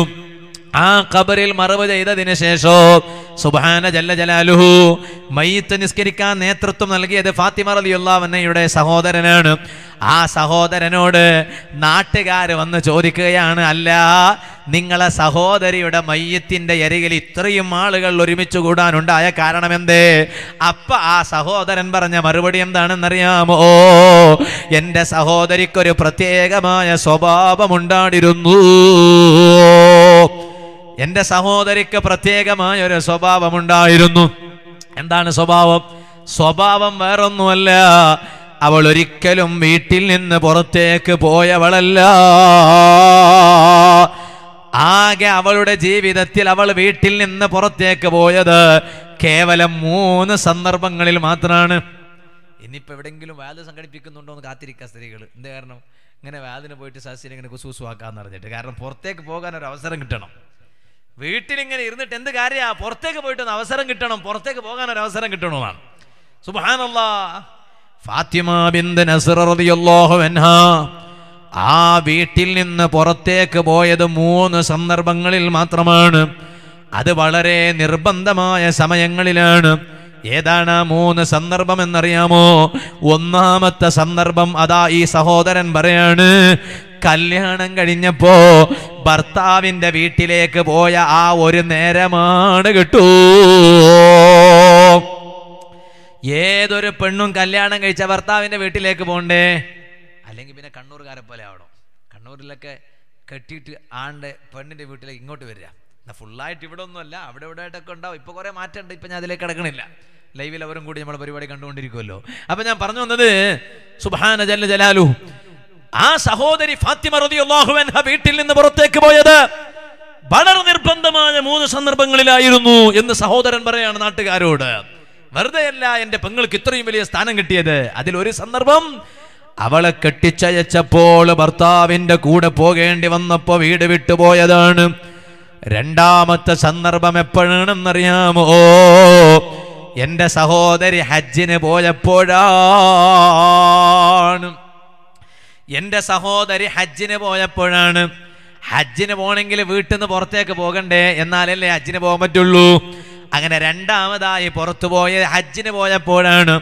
മൂന്നാമതായി എന്റെ സഹോദരി വീട് വിട്ടു പോയത് എപ്പോഴാണെന്നറിയാമോ? അവൾ മരണപ്പെട്ടപ്പോൾ അവളുടെ മയ്യത്ത് പുറത്തേക്ക് കൊണ്ടുപോയതാണ് കേട്ടോ. ഈ മൂന്ന് സന്ദർഭങ്ങളിലല്ലാതെ ഒരു സമയത്ത് പോലും അതാ എന്റെ സഹോദരി വീട് വിട്ട് പുറത്തു പോയില്ല. വെറുതെയാണോ മഹതിമാരൊക്കെ സ്വർഗം അതാ സമ്പാദിച്ചെടുത്തത്? സ്വർഗത്തിലെത്തിയത് വെറുതെയാണോ? ഇരിക്കട്ടെ ഞാൻ പറഞ്ഞു വന്നത് നിസ്കാരം കൊണ്ട് വീട് ധന്യമാക്കണം. അള്ളാഹു നമുക്ക് ഭാഗ്യം തരട്ടെ. നിസ്കരിക്കണം. വീട്ടിൽ സുന്നത്ത് നിസ്കരിക്കണം. അതുകൊണ്ട് തന്നെ ജമാഅത്ത് നിസ്കാരത്തിന് പള്ളിയിൽ വന്നാൽ വേം പോയി വീട്ടിൽ സുന്നത്ത് നിസ്കരിക്കാൻ കഴിയുമെങ്കിൽ എന്നാൽ പിന്നെ വേം വീട്ടിൽ പോയി സുന്നത്ത് നിസ്കരിക്കാൻ നല്ലത്. പക്ഷേ അത് കഴിഞ്ഞോളണമെന്നില്ല എന്താ കാരണം? ചിലപ്പോൾ പള്ളി നിറങ്ങിയിട്ട് വീട്ടിൽ എത്തുമ്പോഴേക്ക് മൂപ്പറങ്ങ് പോയിണ്ടാവും. മൂപ്പറന്ന് തന്നെ ഉളു ഉളു മുറിഞ്ഞിട്ടുണ്ടാവും. പിന്നെ ഇയാൾക്ക് വീണ്ടും വീട്ടിലെത്തിയിട്ട് ഉളുവെടുത്തിട്ട് സുന്നത്ത് നിസ്കരിക്കാൻ ഒരു മടി ഉണ്ടാവും എന്നാൽ പിന്നെ പള്ളിയിൽ തന്നെ നിസ്കരിക്കലാന്നല്ല അതേ സമയത്ത് അത്രയും ഒരു ഹിമ്മത്ത് ഒരു മനക്കരുത്തുണ്ടെങ്കിൽ എന്നാൽ പിന്നെ വീട്ടിൽ പോയിട്ടാണ് പുരുഷന്മാർ സുന്നത്ത് നിസ്കരിക്കേണ്ടത് ഇതുവരെ നബി സല്ലല്ലാഹു അലൈഹി സ്വലം തങ്ങൾ പഠിപ്പിച്ചു. എന്താ കാരണം? കാരണം വീട് ഇബാദത്തുകളെ കൊണ്ട് ധന്യമാക്കണം. ഇബാദത്തുകളെ കൊണ്ട് വീട് ധന്യമാക്കണം. അത് വലിയ പ്രധാനപ്പെട്ട വിഷയമാണ്. അതുകൊണ്ടാണ് ഏതുവരെ വീട്ടിൽ വെച്ച് നിസ്കരിക്ക് സുന്നത്ത് നിസ്കരിച്ചാൽ അതിന്റെ മഹത്വം അതാ നബി സല്ലല്ലാഹു അലൈഹി വസല്ലമ തങ്ങൾ പഠിപ്പിച്ചു. ഒറ്റയ്ക്ക് നിസ്കരിക്കുന്നതിനേക്കാളും ജമാഅത്തായി നിസ്കരിച്ചതിന്റെ പ്രതിഫലമില്ലേ? ആ ജമാഅത്തായി നിസ്കരിച്ചതിന്റെ പ്രതിഫലമാണ് വീട്ടിൽ പോയി നിങ്ങൾ സുന്നത്ത് നിസ്കരിച്ചാൽ കിട്ടുന്ന പ്രതിഫലോ. എന്തേ കാരണം? കാരണം വീട് ഇബാദത്ത് കൊണ്ട് ധന്യമാക്കലാണ്. ആ വീട്ടിൽ ധാരാളം ഇബാദത്തുകൾ വർദ്ധിപ്പിക്കാൻ ഒരവസരമാണ് കേട്ടോ. അതുകൊണ്ടാണ് അഷ്റഫുൽ ഖൽക്ക് മുഹമ്മദ് റസൂലുള്ളാഹി സല്ലല്ലാഹു അലൈഹി വസല്ലം തങ്ങൾ കൂടുതലും സുന്നത്ത് നിസ്കരിച്ചിരുന്നത് വീട്ടിലാണ്. തങ്ങൾ കൂടുതലും സുന്നത്ത് നിസ്കരിച്ചിരുന്നത് വീട്ടിലാണ്. ഏതുവരെ? അതാ അവിടുത്തെ വീട്ടിൽ സുന്നത്ത് നിസ്കരിക്കൂ. ആ വീട്ടിൽ സുന്നത്ത് നിസ്കാരം ഇങ്ങനെ കുറെ നീട്ടി നിസ്കരിക്കും കുറെ സമയമെടുക്കും. ഏതുവരെ? ആ നിൽക്കുന്ന നൃത്തത്തിൽ രാത്രി കുറെ നേരം നബി സല്ലല്ലാഹു അലൈഹി വസല്ലമ നിങ്ങൾ വീട്ടിൽ സുന്നത്ത് നിസ്കരിക്കാറുണ്ട്. ആ നിസ്കാരം കാരണമായി ഹബീബായ നബി സല്ലല്ലാഹു അലൈഹി വസല്ലമ തങ്ങളുടെ കാലിൽ നീര് വന്നുപോയി. തങ്ങൾ വരെ തങ്ങളുടെ വീടിനെ ഇബാദത്ത് കൊണ്ട് ധന്യമാക്കാൻ ശ്രദ്ധിച്ചുപോയി സുബാനല്ലാ തങ്ങളെ വീട്ടിൽ ഇബാദത്തിന്റെ ആവശ്യമുണ്ടോ? തങ്ങളൊരു വീട്ടിലുണ്ടായാൽ തന്നെ അത് വെളിച്ചമാണ്. ഇന്ന ബൈത്തൻ ലൈസ മുഹ്താജൻ നബിയെ തങ്ങൾ ഒരു വീട്ടിലുണ്ടായാൽ ആ വീട് വിളക്കിലേക്ക് ആവശ്യമില്ല. തങ്ങളൊരു വീട്ടിലുണ്ടായാൽ ആ വീട് ഒരിക്കലും വിളക്കിലേക്ക് ആവശ്യമില്ല. പക്ഷേ എന്നിട്ടും നബി സല്ലല്ലാഹു അലൈഹി വസല്ലം വീട്ടിൽ രാത്രിയും പകലും ഒരുപാട് നിസ്കരിച്ചു. കാരണം വീട് ഇബാദത്ത് കൊണ്ട് ധന്യമാക്കിയതാണ് കേട്ടോ. അപ്പൊ ഞാൻ പറഞ്ഞു വന്നത് നമ്മുടെ വീടുകളെ ഇബാദത്തുകളെ കൊണ്ട് ധന്യമാക്കണോ? സിനിമ കാണുന്നത് നിർത്തിവെക്കണം. സീരിയലുകൾ കാണുന്നത് നിർത്തിവെക്കണം. ഹറാമായ തോന്നിവാസങ്ങളൊക്കെ കാണുന്നത് നിർത്തിവെക്കണം. എന്നിട്ട് ഒരു കാര്യം പറയട്ടെ സിനിമ കാണുന്ന വീട്ടിലേക്ക് റഹ്മത്തിന്റെ മലക്കുകൾ വരില്ല. സീരിയലുകൾ കാണുന്ന വീട്ടിലേക്ക് റഹ്മത്തിന്റെ മലക്കുകൾ വരില്ല. മ്യൂസിക്കിന്റെ പാട്ട് കേട്ട് അങ്ങനെയുണ്ട് ചില സ്ത്രീകളൊക്കെ. അവർ ഭക്ഷണം പാകം ചെയ്യുന്ന സമയത്ത് ഭക്ഷണം സമയത്ത് യൂട്യൂബിലും മറ്റുമൊക്കെ ഇങ്ങനെ മ്യൂസിക് കളർന്ന ഹറാമായ പാട്ട് ഇങ്ങനെ കേട്ടുകൊണ്ട് ഭക്ഷണം പാകം ചെയ്യാണ്. എന്നാ ഉമ്മമാരെ ആ വീട്ടിലേക്കൊന്നും റഹ്മത്തിന്റെ മലക്ക് വരില്ല. അഷറഫുൽ ഹൽക്ക് മുഹമ്മദ് റസൂലുല്ലാഹി ശ്രദ്ധിക്കണം. നമ്മുടെ ഓരോ മഹല്ലുകളിലുള്ള വീടുകൾ ഒരുപാട് അനുഗ്രഹങ്ങളെ കൊണ്ട് നിറഞ്ഞ് കവിയുന്ന വീടാകണം. അതിന് ധാരാളം ഇബാദത്ത് വേണം. അതുകൊണ്ടാണ് ഏത് പ്രയാസത്തിനും പരിഹാരമാണ്. നിങ്ങൾക്കറിയോ? ഇപ്പം ഈ പ്രയാസം വന്നിരിക്കുകയല്ലേ? എന്നാ ഏറ്റവും വലിയ പരിഹാരമാണ് വീട്ടിൽ ഇബാദത്തുകൾ വർദ്ധിപ്പിക്കുക. കലീമുല്ലാഹി മൂസ അലഹിസലാം മൂസാ നബി അലഹിസലാം വലിയ പ്രയാസം നേരിട്ടു. ആരിൽ നിന്നാണ് മൂസാ നബി അലഹിസലാം പ്രയാസം നേരിട്ടത്? ഫിറൌനും അതുപോലെ ശിങ്കിടികളിൽ നിന്നാണ്. ആ ഫിർഔനിൽ നിന്നും ശിങ്കിടികളിൽ നിന്നും പ്രയാസം നേരിട്ടപ്പോൾ മൂസാ നബി അലൈഹിസ്സലാമിന് അള്ളാഹു താല ഒരു വഴി അറിയിച്ചു. ഫിറൌനിന്റെ ശല്യത്ത് നിന്ന് രക്ഷപ്പെടാനുള്ളൊരു വഴി. അതിന്റെ ബാക്കിയാണ് ഇപ്പൊ കാണുന്ന ബാക്കി മനുഷ്യന്മാരൊക്കെ. അപ്പൊ ഫിറൌനിന്റെ ശല്യത്തിൽ നിന്ന് രക്ഷപ്പെടാനുള്ള ഒരു വഴി അള്ളാഹു താല വഹി മുഖേന പറഞ്ഞയച്ചു എങ്ങനെയാണ് അതാണ് സൂറത്തു യൂനുസിൽ അള്ളാഹു താല പറഞ്ഞത് وأوحينا إلى موسى وأخيه أن تبوأ لقومكما بمصر بيوتا واجعلوا بيوتكم قبلة وأقيموا الصلاة وبشر المؤمنين മൂസാ നബി അലഹിസ്സലാമിലേക്ക് അള്ളാഹു താല വഹി അറിയിക്കുകയാണ്. മൂസാ നബിയെ അതാ നിങ്ങളുള്ളത് മിസിറിലാണല്ലോ ആ മിസിറിലുള്ള നിങ്ങളെ കൊണ്ട് അതാ ഇസ്ലാമിലേക്ക് വന്ന മുസ്ലിമീങ്ങളുണ്ടല്ലോ. ആ മുസ്ലിം വീടുകളിലുള്ള മുസ്ലിമീങ്ങളോട് പറയണം വജഅലൂ ബുയൂത്തക്കും ഖിബ്ല. നിങ്ങളെ വീടുകളെ ആരാധ്യ കേന്ദ്രമാക്കി എടുക്കാൻ പറയണോ? നിങ്ങളെ വീടുകളെ ആരാധനാ കേന്ദ്രമാക്കി എടുക്കാൻ കഴിയണം? എന്ന് പറഞ്ഞാൽ അതിന്റെ അർത്ഥം നമ്മുടെ വീടുകളെല്ലാം പോയി പള്ളിയായി വഖഫ് ചെയ്യണം എന്നല്ല. നമ്മുടെ വീടുകൾ പോയിട്ട് ഇനിപ്പോ എല്ലാവരും പോയിട്ട് ഇനിപ്പോ ഉസ്താദുമാരെ കൊണ്ടുവന്നിട്ട് വീടൊക്കെ പള്ളിയായിട്ട് വഖഫാക്കാം. കാരണം ആരാധന കേന്ദ്രമാക്കാൻ പോകണല്ലോ ഇവിടെ ഉള്ള പള്ളി എന്നെ നോക്കാൻ ആളില്ല. വീട് നോക്കുന്നവനാരാ? അല്ലെങ്കിൽ തന്നെ ഈ പെണ്ണുങ്ങന്മാർ പാവം സുബാന ജല്ല ജലാലു സ്ത്രീകൾ അവർക്ക് വൃത്തിയാക്കി ആക്കി ആക്കി ആക്കി ആക്കി ആക്കി ആക്കി മതിയായി പോയി. ഈ ആണുങ്ങളുണ്ട് ഓരോ കയ്യിൽ ഒരു കാർവാർ കാണിച്ചിട്ട് വലിയ പുര കെട്ടും വലിയ വീടുണ്ടാക്കും. എന്നാൽ ആ വീട് ഒരു ദിവസമെങ്കിലും അടിച്ചു വാരാൻ ഇയാൾ ശ്രമിച്ചുകണോ ഒരു ദിവസം നൂറ് ദിവസങ്ങളിൽ തൊണ്ണൂറ്റി ഒമ്പത് ദിവസവും ഭാര്യ അങ്ങ് അടിച്ച് വൃത്തിയാക്കും. നൂറാമത്തെ ഒരു ദിവസം കാലം ഇവൻ അടിച്ച് വെച്ചിക്കണോ ഏ വീട് ഉണ്ടാക്കല എന്റെ കാര്യം. അടിച്ച് വൃത്തിയാക്കലല്ല അത് ഓളതാ ഞാൻ കെട്ടിക്കൊണ്ടുവന്നിട്ടില്ലേ എന്നാ ചോദിക്കണം. അപ്പം ഞാൻ പറഞ്ഞു തന്നത് സുഹാന ജല ജലാലുഹു അതന്നെ നോക്കി നടക്കാൻ പാപം ആ പാപത്തിനെ കൊണ്ട് കഴിയുന്നില്ല. എന്നിട്ടും പറയാണ് ഒരു സ്വർത്രവുള്ള ആക്കി കിട്ടിയെങ്കിൽ ഭാര്യ നല്ല ഒരു സ്വർത്രവുള്ള എവിടെയെങ്കിലും കിട്ടിയെങ്കിൽ ഭാര്യ നല്ലെത്തി ഞങ്ങൾ മങ്ങിലാവുമ്പോൾ മങ്ങിലാക്കി കടത്താം. അങ്ങനെ പല വേലക്കാരെയും കൂട്ടി വരുന്നത് അങ്ങനെയാണ്. എന്താ? അപ്പോൾ ശമ്പളം കൊടുക്കേണ്ടി വരില്ലല്ലോ. കല്യാണം കഴിക്കാൻ സമയമാകുമ്പോൾ കല്യാണം കഴിച്ച് അയക്കാന്നാ അപ്പോഴാണ് പറയാം. ഇരിക്കട്ടെ ചുരുക്കി പറഞ്ഞാൽ ഞാൻ പറഞ്ഞു വന്നത് സുബഹാനല്ലോ പള്ളിയാക്കണമെന്നല്ല അതിന്റെ അർത്ഥം. പിന്നെ നമ്മെ കൊണ്ട് കഴിയുന്ന രൂപത്തിൽ നമ്മുടെ വീടുകളിൽ ഇബാദത്ത് ചെയ്യണം. പഴയ കാലത്ത് അതൊക്കെ ഉണ്ടായിരുന്നു. പഴയ കാലത്ത് മകരിവിന്റെ ശേഷം ഉമ്മയും മോളും മരുമോളും ഒക്കെ ഒരിടത്ത് ഇങ്ങനെ ഇരിക്കും. ഇരുന്നിട്ട് അവരിങ്ങനെ ഖുർആൻ ഓതും യാസീൻ ഓതും അതുപോലെ തന്നെ തബാറക്ക ഓതും വാക്യാ സൂറത്ത് ഓതും ഹദ്ദാദ് ഓതും അതുപോലെ റിഫായി മാല ഓതും ജമാദിൽ ഉല മാസമാണെങ്കിൽ റിഫായി മാല ഓതും. ചോദിക്കട്ടെ ഉമ്മമാരെ ഇത് ജമാദിൽ ഉല മാസമല്ലേ റിഫായി മാലന്റെ സമയമല്ലേ എന്റെ ഈ സദസ്സിലുള്ള ഉമ്മമാർ എത്ര വീട്ടിലുണ്ട് റിഫായി മാല തുറന്നു നോക്കിയവര്? നമ്മൾ ആലോചിക്കണ്ടേ? ഞാൻ പറഞ്ഞു വന്നത് അപ്പോ പഴയ കാലത്ത് ഇതൊക്കെ ഉണ്ടായിരുന്നു. ഇന്ന് ഒക്കെ അന്ന് എക്സിബിഷൻ ഒന്നും ഇല്ലല്ലോ. ഇന്നിപ്പോ മകരവിന് ശേഷമൊക്കെ പോകുന്നത് എക്സിബിഷനല്ലേ എവിടെ ഇത് നോക്കാനും നേരം ഓതാനും നേരം? പാടില്ല. മൂസാ നബി അലൈഹിസ്സലാമിന് ഫിറൌനിന്റെ ശല്യമുണ്ടായപ്പോൾ ആ ഫിറൌനിന്റെ ശല്യത്ത് നിന്ന് രക്ഷപ്പെടാൻ മൂസാ നബി അലഹിസ്സലാമിലേക്ക് അള്ളാഹു താല നൽകിയ വഹിയാണ് അതാ നിങ്ങൾ മിശ്രകാരോട് പറയണം വീടുകളുണ്ടല്ലോ ഇബാദത്തുകളെ കൊണ്ട് ധന്യമാക്കാൻ പറയണം. ആ കൂട്ടത്തിൽ കൂടുതലും വീട്ടിൽ ഇബാദത്തെടുക്കേണ്ടുന്നൊരു ഇബാദത്തും കൂടി അള്ളാഹു താല മുസാ നബി അലഹിസ്സലാമിനോട് പറഞ്ഞു കൊടുക്കുകയാണ്. നിസ്കരിക്കണേ മൂസാ നബിയേ. വീട്ടിൽ കുറേ നിസ്കരിക്കണം. ഓ ഉമ്മമാരെ പുരുഷന്മാരെ സുബഹിക്ക് ഒരു അരമണിക്കൂർ മുമ്പ് എണീക്കണം. ഇപ്പൊ ബാങ്ക് കുറെ വൈകിട്ടാണല്ലോ. കുറെ മുമ്പത്തെ പോലെ കുറെ നേരത്തെയല്ലല്ലോ രാത്രി കുറെ സമയം കിട്ടും. രാത്രി കുറെ സമയം കിട്ടും. ഒരു പത്ത് പതിനൊന്ന് മണിക്ക് കിടന്നാൽ തന്നെ കുറെ മണിക്കൂർ ഉറങ്ങാൻ കിട്ടും. സുബഴി ബാങ്ക് കൊടുക്കുന്നതിന്റെ ഒരു അരമണിക്കൂർ മുമ്പ് എണീറ്റ് അതാ പുരുഷന്മാര് വീട്ടിൽ തെഹജുദ് നിസ്കരിക്കുന്നു.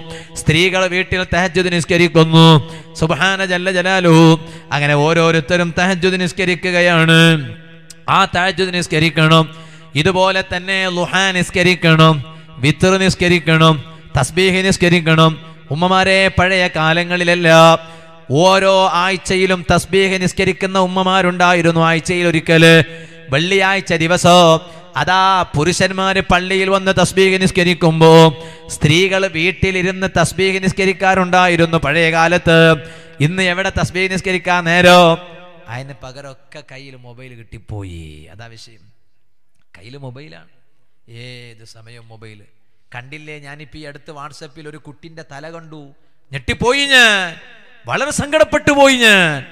ഞാൻ ആ കുട്ടിയുടെ തല ഇങ്ങനെ വാട്സപ്പിൽ ഫോട്ടോ കണ്ടപ്പോൾ ഞാൻ മനസ്സിലാക്കിയത് ഇപ്പോൾ ഈ പുതിയ പുതിയ ഹെയർ കട്ടിങ്ങിന്റെ സ്റ്റൈലൊക്കെ ഉണ്ടല്ലോ അതിന്റെ ഒരു ഭാഗമായിട്ടായിരിക്കും. ഇങ്ങനെ ഒരു ഒരു ഒരു ചെറിയ ഒരു എന്തോ ഒരു പുഷു ഇങ്ങനെ പോയതുപോലെയാണ് ഈ കുട്ടിന്റെ തലയിൽ ഇന്നാലില്ലായ ഇന്നയിലെ രാജവൻ. ഞാൻ അതിന്റെ നേരെ ചുവട്ടിലുള്ള വോയിസ് മെസ്സേജ് കേട്ടു കേട്ടപ്പോൾ അതിൽ എന്താ പറയുന്നതെന്നറിയോ? സുബാന ജല്ല ജലാലുഹു. ഉമ്മ കുട്ടിന്റെ കയ്യിൽ മൊബൈൽ കൊടുത്ത് കൊടുത്ത് കൊടുത്ത് കൊടുത്ത് കൊടുത്ത് കുട്ടിക്ക് ബ്രെയിൻ ട്യൂമർ വന്ന് സർജറി ചെയ്തിട്ട് ആ സ്റ്റിച്ചിട്ട സ്ഥലമാണത്. ഇന്നാലില്ല. പാവം ഈ കുട്ടിയാണ്. കാരണം ഉമ്മയാണ്. ഇന്ന് കണ്ടില്ലേ? ഇന്ന് വേറൊരു കുട്ടിയുടെ വീഡിയോ വാട്സപ്പിൽ വന്നു. ഉമ്മമാരെ നമ്മളതൊക്കെ പാഠം ഉൾക്കൊള്ളണം. ആ കുട്ടിയുടെ കയ്യിൽ മൊബൈലൊന്നുമില്ല. ആ കുട്ടിയുടെ കയ്യിൽ മൊബൈലൊന്നുമില്ല. കുട്ടിന്റെ മുഖാകെ വികൃതിയായിരിക്കുകയാണ്.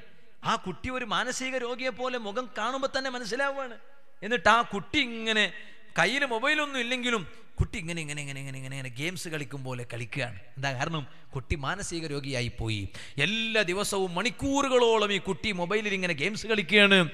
ഉമ്മമാരെ പല കളിക്കാൻ പാടില്ലാത്ത ഗെയിംസും നമ്മുടെ മക്കൾ കളിക്കുന്നുണ്ട് മൊബൈലിലൂടെ അതൊന്ന് ശ്രദ്ധിക്കണം. അവർ മാനസിക രോഗികളായാൽ ആരാണ് ഉത്തരവാദി? അവരതാ ജീവിച്ചിട്ട് അധ്വാനിച്ച് നിങ്ങൾക്ക് ചെലവിന് തരേണ്ടവരല്ലേ? നിങ്ങളെ ഹജ്ജിന് പറഞ്ഞേക്കേണ്ടവരല്ലേ? നിങ്ങളെ ഉമ്രക്ക് പറഞ്ഞേക്കേണ്ടവരല്ലേ? നിങ്ങളെ മയ്യത്ത് മറവ് ചെയ്യുന്നവിടെ സജീവമായി നിൽക്കേണ്ടവരല്ലേ? അതുപോലെ തന്നെ നിങ്ങളെ മൂന്നിന്റെ ദുഴ നടത്തേണ്ടവരല്ലേ? നിങ്ങളുടെ നാൽപ്പതിന്റെ ദുഴ നടത്തേണ്ടവരല്ലേ? ഏഴിന്റെ ദുഴ നടത്തേണ്ടവരല്ലേ? അവർ മാനസിക രോഗികളായാൽ അതിന് ഉത്തരവാദികൾ ആരാണ് ഉമ്മ? ഒരിക്കലും പാടില്ല. ഇരിക്കട്ടെ ഞാൻ പറഞ്ഞ വിഷയത്തിലേക്ക് മടങ്ങുകയാണ് പറഞ്ഞു വന്നത്. അതാ ധാരാളം വീട്ടിൽ നിസ്കരിക്കണം. എന്നിട്ട് മൂസാ നബി അലൈഹി സ്വലാമിനോട് അള്ളാഹു താല പറയുകയാണ് മുഅ്മിനീൻ. ആ രൂപത്തിൽ നിങ്ങൾക്കൊരു പ്രയാസം വന്നപ്പോ ഫിറാവുനിന്റെ പ്രയാസം വന്നപ്പോ ഫിറാവുനിന്റെ ശിങ്കിടികളെ പ്രയാസം വന്നപ്പോ അതിൽ നിന്ന് രക്ഷപ്പെടാൻ നിങ്ങളെ വീടുകളിൽ നിങ്ങൾ ധാരാളം നിസ്കരിച്ചാൽ നിങ്ങൾക്ക് വിജയമുണ്ട് കേട്ടോ. വബശ്ശിരിൽ മൂസാ നബിയെ ഈമാനുള്ള ജനങ്ങൾക്ക് നിങ്ങൾ സന്തോഷ വാർത്ത പറഞ്ഞു കൊടുക്കൂ അറിയിച്ചു കൊടുക്കൂ. കണ്ടില്ലേ നിങ്ങൾ അന്ന് മൂസാ നബി അലൈഹിസ്സലാമും അനുയാണികളും നേരിട്ട പ്രയാസത്തിൽ നിന്ന് രക്ഷപ്പെടാൻ അള്ളാഹു താല കാണിച്ച വഴിയാണ് കേട്ടു. ഇരിക്കട്ടെ ഞാൻ പറഞ്ഞു വന്നത് ആ വീട്ടിലുള്ള ആളുകൾ പരസ്പരം വിളിച്ചുണർത്തണം ഭാര്യ ഭർത്താവിനെ വിളിച്ചുണർത്തണം ഭർത്താവ് ഭാര്യയെ വിളിച്ചുണർത്തണോ. സുബാന ജല്ല ജലാലുഹു. അമ്മായും മരുമകളും ഒക്കെ വീട്ടിൽ ഇങ്ങനെ കഴിയാണല്ലോ. നാ കഴിയുന്ന സമയത്ത് എന്റെ ഉമ്മമാരെ ചോദിക്കട്ടെ ഞാൻ നിങ്ങളോട്. നിങ്ങൾക്ക് എന്തേ ഒരു സുബൈ ജമാത്തായി നിസ്കരിച്ചുകൂടെ? ഉമ്മമാരെ നിങ്ങൾക്ക് എന്തേ ഒന്ന് ഇഷായ ജമാത്തായി നിസ്കരിച്ചുകൂടെ? എന്നാൽ പിന്നെ അമ്മായിമാക്കും മരുമകൾക്കും തമ്മിൽ സ്നേഹം കൂടുമല്ലോ സ്നേഹം വർദ്ധിക്കുമല്ലോ? അപ്പൊ എന്നെ കാണുന്നില്ല എന്ന് മരുമകൾക്ക് അമ്മായിയെക്കുറിച്ച് പരാതിയില്ല അമ്മായിക്ക് മരുമകളെ കുറിച്ചും പരാതിയില്ല. നിങ്ങൾ വീട്ടിൽ ജമാത്തായി നിസ്കരിച്ചുകൂടെ? വീട്ടിൽ ഒന്നിച്ച് നിസ്കരിച്ചുകൂടെ? ഞാൻ പറഞ്ഞു വന്നത് അപ്പോ വിളിച്ചുണർത്തണം. ഭാര്യ ഭർത്താവിനെ വിളിച്ചുണർത്തണം ഭർത്താവ് ഭാര്യയെ വിളിച്ചുണർത്തണം. അങ്ങനെയുള്ള ഭാര്യ ഭർത്താക്കന്മാർക്ക് അള്ളാഹു താല പ്രത്യേകം റഹ്മത്ത് ചെയ്യട്ടെ എന്ന് നബിസല്ലാഹു അലൈ അലൈഹി വസല്ലമ തങ്ങൾ പോലും ചെയ്തിട്ടുണ്ട്.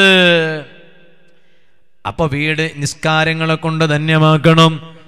ഇതുപോലെ തന്നെ ദിക്കറുകളെ കൊണ്ട് ധന്യമാക്കണം വീട്ടിലെ ദിക്കറുകളെ കൊണ്ട് ധന്യമാക്കണം പഴയ കാലത്ത് വെല്ലുപ്പമാരെങ്ങനെ ഉണ്ടാടിയിരുന്നു വീട്ടിലൊരു പ്രായമുള്ള വെല്ലുപ്പ ആ വെല്ലുപ്പ പേരമക്കളൊക്കെ ഒരുമിച്ച് കൂട്ടിയിട്ട് വെല്ലുപ്പ പേരമക്കളെ ഒരുമിച്ച് കൂട്ടിയിട്ട് എല്ലാവരുടെ ഇടയിൽ ഇങ്ങനെ റാത്തീബ് ചൊല്ലിക്കുകയാണ് അല്ലേ? പഴയ കാലത്ത് പേരമക്കളൊക്കെ. അതുകൊണ്ട് തന്നെ പള്ളിയിൽ റാത്തീബ് ചൊല്ലുന്ന സമയത്ത് പഴയ കാലത്തുള്ള ചെറിയ മക്കളൊന്നും ചിരിക്കൂല. എന്തേ? കാരണം അവർക്ക് വീട്ടിൽ വല്യപ്പ ഈ റാത്തീബ് പഠിപ്പിച്ചിട്ട് പരിചയമുണ്ട്. ആ ഊഹി ഇപ്പോ ചെറിയ കുട്ടികളൊക്കെ റാത്തീബിന്റെ സദസ്സിൽ വന്നിരുന്ന് നോക്കുമ്പോൾ ആ ഹൂഹി ഹയ്യുൻ പ്രായമുള്ളവരൊക്കെ ആ ഹൂഹി ഹയ്യു എന്ന് പറയുമ്പോണ്ട് കുട്ടികളൊക്കെ ഇവിടെ ഇങ്ങനെ അവർക്ക് എന്തോ ഒരു ഇതൊരു പുതുമ പോലെ ഇങ്ങനെ ചിരിക്കാം. എന്താ കാരണം വീട്ടിൽ ഇവന് പരിചയം ഉണ്ടായിട്ടില്ല. പഴയ കാലത്ത് വെല്ലുപ്പ പരിചയപ്പെടുത്തിയിരുന്നു. ഇന്നോ ഇന്ന് വെല്ലിപ്പാന്റെ കയ്യിൽ മൊബൈലായി പോയി. അതാ വിഷയം. ഇത് ഉള്ളത് പറയുമ്പോൾ ആർക്കും സങ്കടം തോന്നരുത് കേട്ടോ ഈ ഗൾഫിലിരിക്കണ ഈ ചങ്ങായിമാരോട് ഞാൻ പറയട്ടെ ലൈവിൽ കണ്ടുകൊണ്ടിരിക്കണ പ്രവാസികളായ ചങ്ങായിമാരോട് ഞാൻ പറയട്ടെ ദയവ് ചെയ്ത് വെല്ലുപ്പന്മാർ നേരാം ചൊവ്വേണ്ട. അവരുള്ളത് കൊണ്ടട്ടോ ഇന്നൊക്കെ പ്രയാസങ്ങളും ഇല്ലാതെ ഇങ്ങനെ ലോകം ഇങ്ങനെ നടന്ന് മുന്നോട്ട് പോണത്. അവരെയും കൂടി നിങ്ങൾ ബെടക്കാക്കരുത് എന്ന് പ്രത്യേകമായി അറിയിക്കുക. അങ്ങനെയുണ്ട്. ഈ വാട്സപ്പൊക്കെ ഉപയോഗിക്കുന്ന ചില വെല്ലുപ്പന്മാരുണ്ട് ആദ്യം അങ്ങനെ ഉണ്ടല്ലോ അവർക്ക് എന്ത് വാട്സപ്പ്? അവർക്ക് എന്ത് വാട്സപ്പ്? അവർക്ക് വാട്സപ്പ് ഒന്നും പരിചയമില്ലല്ലോ. അവർക്ക് എന്ത് വാട്സപ്പ്? അവർ വാട്സപ്പ് ഒന്ന് മുമ്പൊക്കെ ഇങ്ങനെ പറയുമ്പോൾ ഇങ്ങനെ മേലും കീഴും ഇങ്ങനെ നോക്കണ്ടെന്ന് എന്ത് എന്തല്ല ചൊല്ല എന്തല്ല ഭയത് ചൊല്ല വാട്സപ്പ് എന്തൊരു വാട്സപ്പല്ല എന്തിനാ വാട്സപ്പ്? ഫേസ്ബുക്ക് എന്നെല്ലാം പറയുമ്പോൾ അവരിങ്ങനെ എന്ത് ഫേസ്ബുക്കിലാ ഞങ്ങൾ പണ്ട് നോട്ട് ബുക്ക് എന്നെല്ലാം കേട്ടിന്. നോട്ട് ബുക്ക് നോട്ട് ബുക്ക് ഇത് എന്ത് ഫേസ്ബുക്കിലാന്ന് പറഞ്ഞിട്ട് ഇയാളിങ്ങനെ സുബാനച്ചൽ അതുകൊണ്ട് ചില വല്യപ്പമാരൊക്കെ ആദ്യം ഉണ്ട് ഇങ്ങനെ ഇവനിങ്ങനെ ഗൾഫിൽ നിന്ന് കൊടുത്തയച്ചു മൊബൈൽ വല്യപ്പാന്റെ കയ്യിൽ മൊബൈൽ കിട്ടി. മൊബൈലിൽ ഇവനിങ്ങനെ നബി സല്ലല്ലാഹു അലൈഹി വസല്ലമ നിങ്ങൾ പറഞ്ഞത് നോക്കൂ നിങ്ങൾ മസലുൽ ഫീഹി വൽ ലാ ഫീഹി മസലുൽ വൽ അല്ലാഹുവിനെ ദിക്ർ ചെല്ലുന്ന വീടും അല്ലാഹുവിനെ തീരെ ഓർക്കാത്ത വീടും ഇത് രണ്ടിന്റെയും ഉപമ എങ്ങനെയാണെന്നറിയാമോ? ജീവനുള്ള ഒരു മനുഷ്യന് തുല്യമാണ്. മരണപ്പെട്ടു പോയ ഒരു മനുഷ്യന് തുല്യമാണ്. കൂടുതൽ ദിക്ർ ചെല്ലുന്ന വീടാണോ? ജീവനുള്ള ഒരു മനുഷ്യന് തുല്യമാണ്. തീരെ ദിക്കറുകളില്ലാത്ത വീടാണോ? മരണപ്പെട്ടുപോയ മനുഷ്യന് തുല്യമാണ്. നബിസല്ലാഹു അലൈഹി വസല്ലമ നിങ്ങൾ വീണ്ടും പറയുകയാണ് ലാ തജാലോ ബുജൂത്തക്കും മഖാബിർ. നിങ്ങളെ വീടുകൾ നിങ്ങളെ കബറുകൾക്ക് തുല്യമാക്കരുത്. എന്തേ കബറുകൾക്ക് തുല്യമാക്കരുത് എന്ന് പറയാൻ കാരണം കബറുകളിൽ ഒരു സ്വഭാവമുണ്ട്.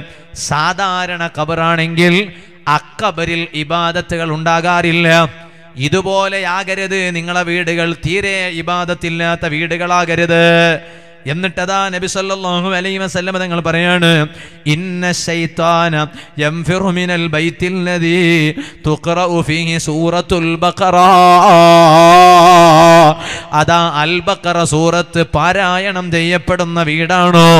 ആ വീട്ടിൽ എത്ര വലിയ പിശാചിയുണ്ടെങ്കിലും അൽ ബഖറ സൂറത്ത് പാരായണം ചെയ്യപ്പെടുന്ന വീടാണോ? ആ വീട്ടിൽ നിന്ന് പിശാജ് ഓടിപ്പോകും കേട്ടൂ. അൽബക്കറ സൂറത്ത് എന്നും വീട്ടിൽ പാരായണം ചെയ്യപ്പെടുന്ന വീടാണോ? എന്നാൽ ആ വീട്ടിൽ നിന്ന് പിശാജ് ഓടിപ്പോകുമെന്ന് നബി മുഹമ്മദ് റസൂലുള്ളാഹി. അപ്പ ചിലർ പറയും ഉസ്താദെ അൽബക്കറ യാ അല്ലാ എത്രയാണ് ഇത് ഓതേണ്ടത്? അൽബക്കറ എന്ന് പറഞ്ഞാൽ ഒരു അറബി കിതാബിൽ ഒരു തമാശ ഇങ്ങനെ വായിച്ചത് ഞാനിപ്പോൾ ഓർക്കുകയാണ്. ഒരു അറബി കിതാബാണ് പുസ്തകമാണ്.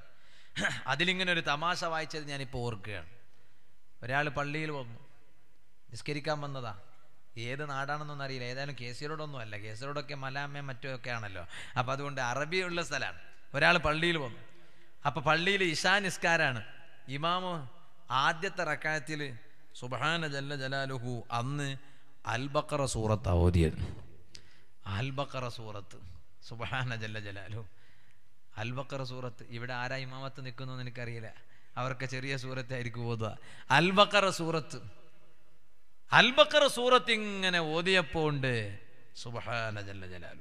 നമ്മളെ മുനീർ സക്കാഫി അവർ നമ്മളൊക്കെ വളരെ നേരത്തെ തന്നെ പരിചയക്കാരാണ്.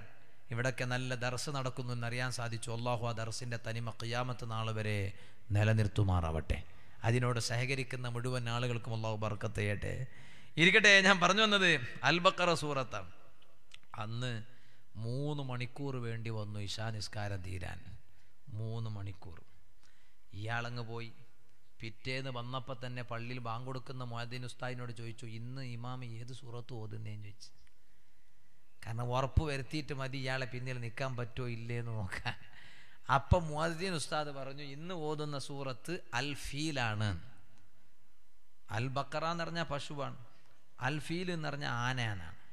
സുബാന അപ്പം ഇയാൾ അവിടെ നിന്ന് ചിന്തിച്ചു ഇന്നലെ പശുവിനെ ഓതിയിട്ട് തന്നെ മൂന്ന് മണിക്കൂർ വേണ്ടി വന്നെങ്കിൽ ഇനിയിപ്പോൾ ആനയെക്കുറിച്ച് പത്ത് മണിക്കൂർ ഏതായാലും വേണ്ടി വരും. ഇന്ന് വേണ്ട നമുക്ക് പൊരലെന്നെ പോയി നിസ്കരിക്കാന്ന് പറഞ്ഞ് അയാൾ പോയി. സംഭവം നോക്കിയാലോ അൽഫീൽ എന്ന സൂറത്ത് വളരെ ചെറിയ സൂറത്തല്ലേ? അലം തറ കൈഫ ഫഅല റബ്ബുക ബി അസ്ഹാബിൽ ഫീൽ. അലം യജഅൽ കൈദഹും ഫീ തദ്ലീൽ. വഅർസല അലൈഹിം തൈറൻ അബാബീൽ. തർമീഹിം ബിഹിജാറത്തിൻ മിൻ സിജീൽ ഫജഅലഹും കാസ്ഫി മഅകൂൽ ഖലാസ്. കഴിഞ്ഞു. അത്രേ ഉള്ളൂ. പക്ഷെ അൽഫിയിൽ ആനാനായപ്പോൾ സുബാന ജല്ല ജല പത്ത് മണിക്കൂർ വേണ്ടി വന്നു എന്നായി. അപ്പം ചില ഉമ്മമാർക്കൊക്കെ തോന്നും ഉസ്താദേ ഈ എല്ലാ നാളും അൽബക്കറ എങ്ങനെ ഓതിര ഉസ്താദെ? ഞങ്ങൾ ഇപ്പം എല്ലാം കൂടി ഓതിട്ട് ഒപ്പാട്ടുമ്പോൾ ഞങ്ങൾക്കത് തീരില്ല. അൽബക്കറ ഓതി തീർക്കണ്ടേ ഉസ്താദെ ഒരു നാൾ നബിസല്ലാഹു അലൈ വസല്ലം പറഞ്ഞു നിങ്ങൾക്ക് പൂർണമായും അൽബക്കറ ഓതാൻ പ്രയാസമാണോ? അതാണ് എ ഗ്രേഡ്. പൂർണമായും അൽബക്കറ ഓതാൻ വീട്ടിൽ പ്രയാസമുണ്ടോ? എന്നും ഓതി തീർക്കാൻ പ്രയാസമുണ്ടോ?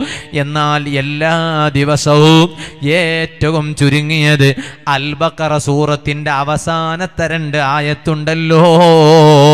ഏത് തുടങ്ങുന്ന ആയത്താണത്? ആമന റസൂലു ആമന റസൂലു എന്ന് തുടങ്ങുന്ന ആയത്ത് അൽബക്കറയുടെ അവസാനത്തെ രണ്ട് ആയത്താണ്. അത് നിങ്ങളതാ എല്ലാ ദിവസം വേണമെന്നില്ല. ഏറ്റവും ചുരുങ്ങിയത് മൂന്ന് രാത്രിയിലെങ്കിലും മോദിയാൽ മൂന്ന് രാത്രിയിലെങ്കിലും മോദിയാൽ പിശാജ് ഓടിപ്പോയി. ആ വീട്ടിൽ പിന്നെ പിശാജ് ഉണ്ടാകൂല. അപ്പൊ നമ്മൾ ഈ സദസ്സിൽ നിന്നൊരു തീരുമാനമെടുക്കണം. കുറെ വാൽ പറയുന്നു എന്നെ പോലോത്ത മുസ്ലിയാക്കന്മാർ നിങ്ങളെ പോലോത്ത കുറെ സാധാരണ ജനങ്ങളെ വാൽ കേട്ടുപോകുന്നു. ഒരു കാര്യവുമില്ല. ഈ സദസ്സിൽ ഒരു തീരുമാനമെടുക്കണോ? ഇൻഷാ അല്ലാ.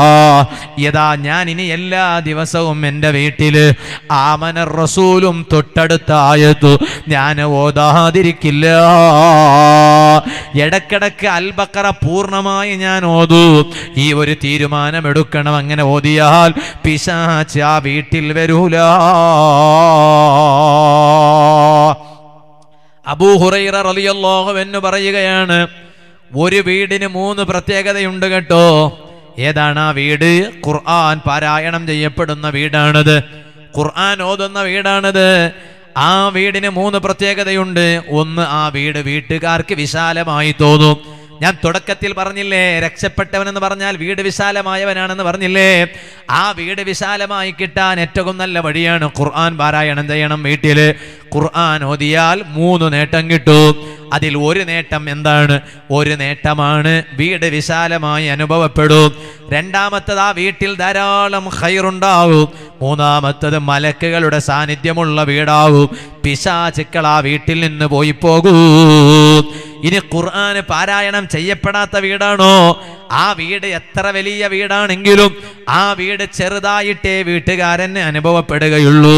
അതുപോലെ ആ വീട്ടിന്റെ ഹൈറായ കാര്യങ്ങൾ കുറഞ്ഞു പോവുകയാണ്. ആ വീട്ടിൽ നിന്ന് മലക്കുകൾ ഓടിപ്പോകുന്നു.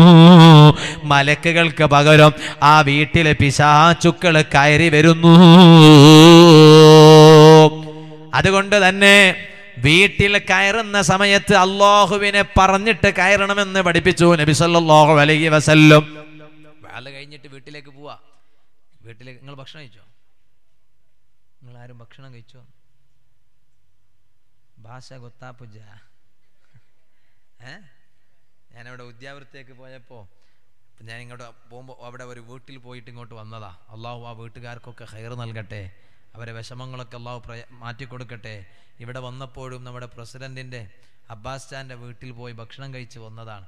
അള്ളാഹു താല അവർക്കൊക്കെ സന്തോഷം നൽകട്ടെ. ആ ഭക്ഷണം ഉണ്ടാക്കി തന്ന ഉമ്മമാർക്കൊക്കെ അള്ളാഹു ബർക്കത്ത് അപ്പോൾ ആ വീട്ടുകാരൻ എന്നോട് പറയാണ് അവിടെ വിദ്യാർത്ഥി പോയപ്പോൾ ഞങ്ങളത് ഇവിടെ ഒരു പ്രത്യേക ഭാഷ എന്ന് പറഞ്ഞു. ഞങ്ങൾ നല്ലൊരു പ്രത്യേകം ഭാഷ ഓക്കെ അല്ലേ ഭാഷ ഇവിടെ പ്രത്യേക ഭാഷ തന്നെയല്ലേ? നക്കിണിക്കുള്ളവരുണ്ട് അവിടെ. ഉണ്ടല്ലേ? നക്കിണിക്കും ഉണ്ട് മലയാളം ഉണ്ട് മലാമ ഉണ്ട് ഭാഷ ഉണ്ട് ഇല്ലാത്തതും ഉണ്ട്. അല്ല അങ്ങനെയല്ല. ഭാഷ ഇല്ലാത്തതില്ല എല്ലാം ഭാഷ്യമേ ഉള്ളു. അള്ളാഹു തല മറക്കത്തെ ഹൈറ് നൽകട്ടെ സന്തോഷം നൽകട്ടെ. അപ്പം ഞാൻ പറഞ്ഞു വന്നത് സുബാന ജല്ല ജലാലുഹു. വീട് കയറുന്ന സമയത്ത് നിങ്ങളിപ്പോൾ ഏതായാലും ഭക്ഷണം കഴിച്ചിട്ടുണ്ടാവില്ല എന്നാണ് ഞാൻ മനസ്സിലാക്കണം. ഞാൻ ഈ വേള കഴിഞ്ഞ ഉടനെ വേഗം പോകാനുള്ളത് കൊണ്ട് ഞാൻ നേരത്തെ തന്നെ മുനീർ സക്കാബിസ്ഥാനെ വിളിച്ചിട്ട് പറഞ്ഞു ആദ്യം ഭക്ഷണം കിട്ടിയ സന്തോഷമാണ് അങ്ങനെ ഭക്ഷണം കഴിച്ച് ഇങ്ങോട്ട് വന്നതാണ് അപ്പോൾ നിങ്ങളിനിപ്പോൾ പോയിട്ട് ഭക്ഷണം കഴിക്കായിരിക്കും അപ്പോൾ വയലും കഴിഞ്ഞിട്ട് ഇങ്ങനെ പോയിട്ട് ഗേറ്റിന്റെ അടുത്ത് എത്തുമ്പോൾ തന്നെ ഏ ബേ എടുത്ത് വയ്ക്കടി ടൈം ആയിത്തരി. ബേ എടുത്ത് വയ്ക്കടി എന്തെടുത്ത് വെക്കാനാ? തിന്നാൻ ഭക്ഷണം എടുത്ത് വെക്കാൻ വേണ്ടി പറയാം. അങ്ങനെയല്ല ഓരോ സ്ഥലത്ത് കയറുമ്പോഴും ഇറങ്ങുമ്പോഴൊക്കെ ഒരു മര്യാദ ഉണ്ട്. ആ മര്യാദ അനുസരിച്ച് നീങ്ങിയാലേ നമുക്ക് ഹൈറ് കിട്ടുള്ളൂ. അല്ലെങ്കിൽ ഹൈറ് കിട്ടൂല അതുകൊണ്ടാണ് നബി അലൈവലം അലൈഹി നിങ്ങൾ പറഞ്ഞ് വീട്ടിൽ കയറുന്ന സമയത്ത് നിങ്ങൾ അള്ളാഹുവിന്റെ പേര് പറയണം. ബിസ്മില്ലാഹിർ റഹ്മാനിർ റഹീം ഇപ്പം നിങ്ങളൊക്കെ ഈ സദസ്സിലൊരു തീരുമാനമെടുക്കണം. ഈ സദസ്സിൽ വാളും കഴിഞ്ഞ് പോയാൽ വീട്ടിൽ കയറുമ്പോൾ ബിസ്മിയും ചൊല്ലിയിട്ട് വീട്ടിൽ കയറണം. എന്നാ പിന്നെ വീട്ടിന്റെ ഉള്ളിൽ ഒരു യുദ്ധം നടക്കൂല. വീട്ടിന്റെ ഉള്ളിൽ തമ്മിൽ ഒരു പ്രയാസം ഉണ്ടാവൂല. വീട്ടിന്റെ ഉള്ളിൽ കയറുന്ന സമയത്ത് ബിസ്മി ചൊല്ലണോ? കാരണം എന്താണ്? കാരണം നിങ്ങൾ വീട്ടിന്റെ വാതിൽക്കൽ പോയി നിൽക്കുമ്പോൾ ഇന്നത്തെ രാത്രി നിങ്ങളെ വീട്ടിൽ നിങ്ങളെ കൂടെ കിടക്കാൻ പിശാചുക്കൾ റെഡിയായിട്ടുണ്ട്. നിങ്ങളെ കൂടെ ഇന്നത്തെ രാത്രിയിൽ നിങ്ങളെ വീട്ടിൽ കയറാൻ നിങ്ങൾ വാലിന്റെ സദസ്സിൽ നിന്നാണ് വരുന്നത് എന്ന് പറഞ്ഞിട്ട് കാര്യമില്ല.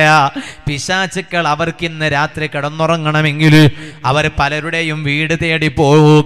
അവർക്ക് കെ സി റോഡിൽ ഒരു വീടും കിട്ടാൻ പാടില്ലട്ടോ. പല വീടും അവരിങ്ങനെ തേടി പോകും അവർക്ക് കിടന്നുറങ്ങാൻ. അതുകൊണ്ട് തന്നെ വാതിലിന്റെ അരികിൽ അവരിങ്ങനെ നിൽക്കൂ. നിങ്ങൾ ആ കയറുന്ന സമയത്ത് ബിസ്മി എന്ന് ചൊല്ലിയിട്ട് ബിസ്മില്ലാഹി റഹ്മാൻ റഹീം എന്ന് ചൊല്ലിയിട്ടാണോ കയറുന്നത്? ആ പിശാചുക്കളെ കൂട്ടത്തിൽ അതാ അതിന്റെ നേതാവായ ശൈത്താന് കുഞ്ഞ് പിശാചുക്കളോട് പറയാണ് ലാ മബീത്തലകു ഇന്ന് നിങ്ങൾക്ക് ഇയാളെ പുറയിൽ താമസിക്കാൻ പറ്റൂലട്ടോ കാരണം അയാൾ അള്ളാഹുവിന്റെ പേര് പറഞ്ഞിട്ട് ആ വീട്ടിൽ കയറിയത്. അതുകൊണ്ട് നിങ്ങളെല്ലാവരും മടങ്ങി വരൂ. എന്നിട്ട് ആ വീട്ടിൽ ഭക്ഷണം കഴിക്കുന്ന സമയത്ത് നിങ്ങൾ കയറുന്ന സമയത്ത് വിസ്മയും ചൊല്ലിയിട്ടില്ല. ഭക്ഷണം കഴിക്കുന്ന സമയത്തും വിസ്മയും ചൊല്ലിയിട്ടില്ല. എന്നാൽ നിങ്ങളെ കൂടെ പിശാചുക്കൾ കഴിക്കുകയാണ്. അതേ സമയത്ത് നിങ്ങൾ വീട്ടിൽ കയറുമ്പോൾ ബിസ്മില്ലാഹി ചൊല്ലി ഭക്ഷണം കഴിക്കുമ്പോഴും ബിസ്മില്ലാഹി ചൊല്ലി. അപ്പോ ഈ മുതിർന്ന ശൈത്വാന് കുഞ്ഞ് പിശാചുക്കളോട് പറയാണ് ഇവിടെ രാത്രി ഭക്ഷണം ഞങ്ങൾക്ക് ഇല്ലട്ടോ അയാൾ ഭക്ഷണം കഴിക്കുന്ന സമയത്ത് ബിസ്മി ചൊല്ലിയിട്ടുണ്ട്. അതുകൊണ്ട് നിങ്ങൾ ഇവിടെ ഭക്ഷണം കഴിക്കാനിരിക്കണ്ട. അതേ സമയത്ത് വീട്ടിൽ കയറുന്ന സമയത്ത് എടുത്തു വെക്കടി. എടുത്തു വെക്കടി എന്ന് പറഞ്ഞിട്ടാ കയറുന്നത്. എടി എന്നും പറഞ്ഞിട്ടാ കയറുന്നത്. ബിസ്മി ചൊല്ലിയിട്ടല്ല. എന്നാൽ നബി സല്ലല്ലാഹു അലൈഹി വസല്ലം നിങ്ങൾ പറയാണ് അതാ നേതാവായ ഷൈത്താൻ കുഞ്ഞു പിശാചുക്കളോട് പറയാണ് ഓ അതിറത്തുൽ മബീത വൽ ഇന്ന് രാത്രി നിങ്ങൾക്ക് ഇവിടെ കിടന്നുറങ്ങാൻ അവസരമുണ്ട്. രാത്രി ഭക്ഷണം ഇയാളെ കൂടെ കഴിക്കാൻ നിങ്ങൾക്ക് അവസരമുണ്ട്. കണ്ടോ വീട്ടിൽ കയറുന്ന സമയത്ത് ബിസ്മിയൊല്ലിയിട്ട് കയറണം? വീട്ടിൽ നിന്ന് ഇറങ്ങുന്ന സമയത്തോ? വീട്ടിൽ നിന്ന് ഇറങ്ങുന്ന സമയത്തും അതുപോലെയാണ്. ബിസ്മില്ലാഹി തവക്കൽതു അലല്ലാഹി ലാ ഹൗല വലാ ഖുവത ഇല്ലാ ബില്ലാ. അത് ചൊല്ലിയാൽ മടങ്ങുന്നത് വരെ നിങ്ങൾക്ക് കാവലാണ് കേട്ടോ. എല്ലാത്തിനും പരിഹാരം ഇസ്ലാമിലുണ്ട്. എന്നിട്ടുണ്ട് ചില അമ്മായിമ്മമാർ ചില ഇഞ്ഞമാർ ചില താത്തന്മാരുണ്ട് സുബാന ജല ജലാലു. ജോത്സ്യന്റെ അടുത്തും പൂജാരിന്റെ അടുത്തും ഭട്ടിന്റെ അടുത്തും ഭസ്മം ചൊരിക്കാൻ വേണ്ടി പോവാണ്. ഇവിടെ ഒന്നും അങ്ങനത്തെ ഉമ്മമാരില്ല ഞാൻ മനസ്സിലാക്കുകയാണ്. വേറെ ഒരാളോട് ചതിയാണ് വേറെ ഒരാളോട് ദേഷ്യമാണെങ്കിൽ പിന്നെ ദേഷ്യം തീർക്കാൻ ആകെ ഒറ്റ വഴി സിഹിർ ചെയ്ത് കൊന്നുകളയാ. അള്ളാഹു നമ്മളെ നന്നാക്കി തരട്ടെ. അള്ളാഹു നമ്മളെ നന്നാക്കി തരട്ടെ. അതിന് ഏറ്റവും കൂടുതൽ ഈ സൂക്കടുള്ളത് ഇഞ്ഞമാർക്കാണ്. ഇഞ്ഞമാർക്കാണ് ഈ താത്തന്മാർക്കാണ്. ദയവ് ചെയ്ത് ഉമ്മമാരെ നിങ്ങൾ അതിന് ഒരുങ്ങരുത്. എല്ലാത്തിനും പരിഹാരം ഇസ്ലാമിലുണ്ട്. ഗർഭിണികൾ എന്റെ സദസ്സിലുണ്ടാകുമല്ലോ. ഗർഭിണികൾ എന്റെ സദസ്സിലുണ്ടാകുമല്ലോ. നിങ്ങളോട് ഞാനൊന്ന് പറയട്ടെ. ഗർഭിണികളാണെങ്കിൽ അവരുടെ പ്രസവം അടുത്താൽ അവരുടെ പ്രസവം അടുത്താൽ ആ പ്രസവം അടുത്ത സമയത്ത് അതാ അവരുടെ വയറിന്റെ അരികിൽ ഇരുന്നിട്ട് ആയത്തുൽ കുറിസി ഓതണേ. പ്രസവ വേദന എടുക്കുന്ന സമയത്ത് ആ ഗർഭിണിയായ സ്ത്രീയുടെ അരികിലിരുന്ന് ആയത്തുൽ കുറിസി ഓതണേ. ഇങ്ങനെ എന്തെല്ലാം ഇസ്ലാമിൽ അതാ നിയമങ്ങളുണ്ട് ഇസ്ലാമിൽ പറച്ചിലുണ്ട്. പോരാ ഞാൻ പറഞ്ഞു വന്നത്. അത് മാത്രമല്ല ഇതുപോലെ പണ്ഡിതന്മാർ പ്രത്യേകിച്ച് പഠിപ്പിച്ചിട്ടുണ്ട്. കേവലം ആയത്തുൽ കുർസി മാത്രമല്ല പരിശുദ്ധ ഖുർആാനിൽ ഒരു സൂറത്തുണ്ട്. ആ സൂറത്തിന്റെ പേരാണ് സൂറത്തുൽ ആറാഫ്. ആ സൂറത്തുൽ ആറാഫിലെ അമ്പത്തിനാലാമത്തൊരായത്തുണ്ട്. ആ ആയത്ത് പ്രസവ വേദന ഉണ്ടാകുന്ന സമയത്ത് ഗർഭിണിയുടെ അരികിൽ ഇരുന്ന് ചൊല്ലിക്കോ. ആ അറാഫ് സൂറത്തിന്റെ അമ്പത്തിനാലാമത്തെ ആയത്ത്. ആ ആയത്ത് ഏതാണെന്ന് ഇവിടെ ഞാൻ വായിച്ചു തരൂല്ല. നിങ്ങൾ വീട്ടിൽ പോയി മുസാഫ് തുറന്നു നോക്കിയാൽ നിങ്ങൾക്കത് കാണാം. അതാ അത് വലിയ പരിഹാരമാണ് അഭിഷയത്തിന് പോരാ പണ്ഡിതന്മാരെ വീണ്ടും പഠിപ്പിക്കുകയാണ്. ഒരു കുഞ്ഞിനെ പ്രസവിച്ചാലോ? ആ കുഞ്ഞിനെ പ്രസവിച്ചാൽ വലത്തെ ചെവിയിൽ ബാങ്കും ഇടത്തെ ചെവിയിൽ ഇക്കാമത്തും കൊടുക്കണം. എന്നാ ബാങ്കും ഇക്കാമത്തും മാത്രമല്ല എന്നാൽ ചെവിയിൽ അഹദ് എന്ന സൂറത്ത് ഓതിക്കൊടുക്കണം. കുൽ അഴുതു ബി റബ്ബിൽ ഫലക്ക് എന്ന സൂറത്ത് ഓതിക്കൊടുക്കണം. കുൽ അഊദു ബി നാസ് എന്ന സൂറത്ത് ഓതിക്കൊടുക്കണോ? എന്നാൽ ഈ പിശാചിനെ പ്രസവിച്ച് കിട്ടാൻ വേണ്ടി കാത്തിരിക്കുന്ന ചില പിശാചുക്കൾ ഈ കുഞ്ഞിനെ പ്രസവിച്ച് കിട്ടാൻ ഓരോ ഫലമുള്ളത്. എത്രയാണ് ഓരോന്നിനും പവരുൾ ആദ്യത്തെ മൂന്ന് ആയത്തുകളുണ്ട്. നിങ്ങൾ മുസാഫ് തുറന്നു നോക്കിയാൽ ആ മൂന്ന് ആയത്ത് കാണാം ആ സൂറത്ത് കാണാം. ആ മൂന്ന് ആയത്ത് എല്ലാ ദിവസവും നിങ്ങൾ സുബഹിക്ക് ഉണരു ഉണരാറില്ലയോ? ആ സുബഹിക്ക് ഉണരുന്ന സമയത്ത് അതാ നിങ്ങൾ ആ മൂന്ന് ആയത്ത് ഓതിയാൽ ബാപ്പാ നിങ്ങളത് കാണാതെ പഠിക്കണം. ചെറിയ സൂറത്താണ്. സൂറത്തിന്റെ ആദ്യത്തെ മൂന്ന് ആയത്ത് സുബഹിയുടെ സമയത്ത് പതിവാക്കുന്ന ആണിനും പെണ്ണിനും അള്ളാഹു താല ഒരു മലക്കിനെ സംവിധാനിക്കുകയാണ്. ആ മലക്കിന്റെ പ്രത്യേകത എന്താണ്? അതാ ഈ മനുഷ്യന്റെ മനസ്സിൽ തെറ്റ് ചെയ്യാനുള്ള വല്ല ചിന്തയും പിശാജ് ഇട്ടുകൊടുത്താൽ ഈ മലക്ക് ആകാശത്ത് നിന്ന് ഒരു അതാ ഒരു കുന്തം കൊണ്ടുവരികയാണ് ആ കുന്തം കൊണ്ട് ഈ മനുഷ്യന്റെ മനസ്സിൽ തെറ്റ് ചെയ്യാനുള്ള ചിന്ത ഇട്ട് കൊടുക്കുന്ന പിശാചില്ലയോ ആ പിശാജിനെ കുത്തി മാറ്റി നിർത്തുന്നു. അത് ജീവിതത്തിൽ അൻആമ സൂറത്തിന്റെ ആദ്യത്തെ മൂന്ന് ആയത്ത് സുബഹയുടെ നേരത്ത് പതിവാക്കുന്നവന് അല്ല കൊടുക്കുന്ന പവറാണ് കിട്ടൂ. ഈ ഒരു മലക്ക് മാത്രമല്ല വേറെ എഴുപതിനായിരം മലക്കുകളെയും അള്ളാഹുത്താല സംവിധാനിക്കുകയാണ്. ഒന്ന് രണ്ട് മലക്കൊന്നുമല്ല സബഴീന അൽഫ് മലക്ക് എഴുപതിനായിരം മലക്കുകളെ അള്ളാഹു താല സംവിധാനിക്കുകയാണ്. ആ മലക്കുകൾ എന്തിനാറിയോ? ഈ അനാമ സൂറത്ത് എല്ലാ ദിവസവും അതിന്റെ തുടക്കത്തിലെ മൂന്ന് ആയത്തുകൾ പ്രഭാതത്തിൽ സുബഴിയാകുമ്പോൾ ഓതുന്ന മനുഷ്യനാണോ? ആണാണോ? പെണ്ണാണോ? അവന് ഇപ്പറഞ്ഞ ഒരു മലക്ക് അല്ലാതെ തന്നെ എഴുപതിനായിരം മലക്കുകളെ അള്ളാഹു താല സംവിധാനിക്കുകയാണ്. ആ മലക്കുകളുടെ ദൗത്യം എന്താണ്? ആ മലക്കുകൾ ഈ മനുഷ്യനെ എല്ലാ ഷറിൽ നിന്ന് മാറ്റി നിർത്തുന്നു. ഇവൻ ഒരു പേടിയും പേടിക്കണ്ട. മലക്കുകൾ പല സമയങ്ങളിലും ഇറങ്ങിയതാണ്. ബദർ ഓ നിങ്ങൾ ഓർക്കാറുണ്ടോ? മുന്നൂറ്റി പതിമൂന്നോളം വരുന്ന മാത്രം വരുന്ന ബദർ സ്വാമത്ത് ആയിരത്തിലേറെ വരുന്നവരെ പരാജയപ്പെടുത്തിയില്ലേ? ആ ബദരിൽ മലക്കുകൾ അവതീർണമായില്ലേ? മലക്കുകളുടെ സമയ സഹായം വളരെ അത്യാവശ്യമുള്ള സമയമാണ്. അതുകൊണ്ട് അനാമ സൂറത്തിന്റെ ആദ്യത്തെ മൂന്ന് ആയത്ത് എന്നും സുബഹിയുടെ നേരത്ത് ചൊല്ലിക്കോ. ഇരിക്കട്ടെ ഞാൻ പറഞ്ഞു വന്നത് ഓരോ വിഷയത്തിന് കിട്ടുന്ന പരിഹാരമാണത്. ഓരോ വിഷയത്തിന് കിട്ടുന്ന പരിഹാരമാണത്. ആ പരിഹാരം അതെല്ലാം നമ്മുടെ ജീവിതത്തിൽ പ്രാവർത്തികമാക്കി കൊണ്ടുവരണം. എന്നിട്ട് അള്ളാഹുവിലേക്ക് മനസ്സ് തിരിക്കണോ അതാ ഞാൻ എന്റെ സംസാരം ചുരുക്കുകയാണ്. ആകയാൽ നമ്മുടെ വീട് നല്ല പറക്കത്തുള്ള വീടാകണോ? ആ വീട്ടിൽ സൽക്കർമ്മങ്ങൾ വർദ്ധിപ്പിച്ച് പടച്ചറബിലേക്ക് മനസ്സ് തിരിച്ച് അതാ ഇബാദത്ത് ധന്യമായ വീടാകണോ? ഇന്നത്തെ സദസ്സിൽ എന്റെ ഈ വിഷയവുമായി ബന്ധപ്പെട്ട് ഒരൊറ്റ കാര്യം പറഞ്ഞ് ഞാൻ എന്റെ സംസാരം നിർത്തുകയാണ്. അള്ളാഹു നിർത്താൻ വേണ്ടി തോഫീക്ക് ചെയ്യട്ടെ. എന്തെങ്കിലും ആമീൻ ജോറ് ചെല്ലാത്ത. അള്ളാഹ് ബേ നിർത്താൻ ഭാഗ്യം തരട്ടെ. ആ കുട്ടികൾക്ക് നാളെ സ്കൂളുണ്ടോണ്ട് കുട്ടികൾക്ക് നാല് സ്കൂളില്ല? ആ പിന്നെന്താടാ നിങ്ങളൊക്കെ ജോറായിട്ട് ആമി എന്ന് പറഞ്ഞ്?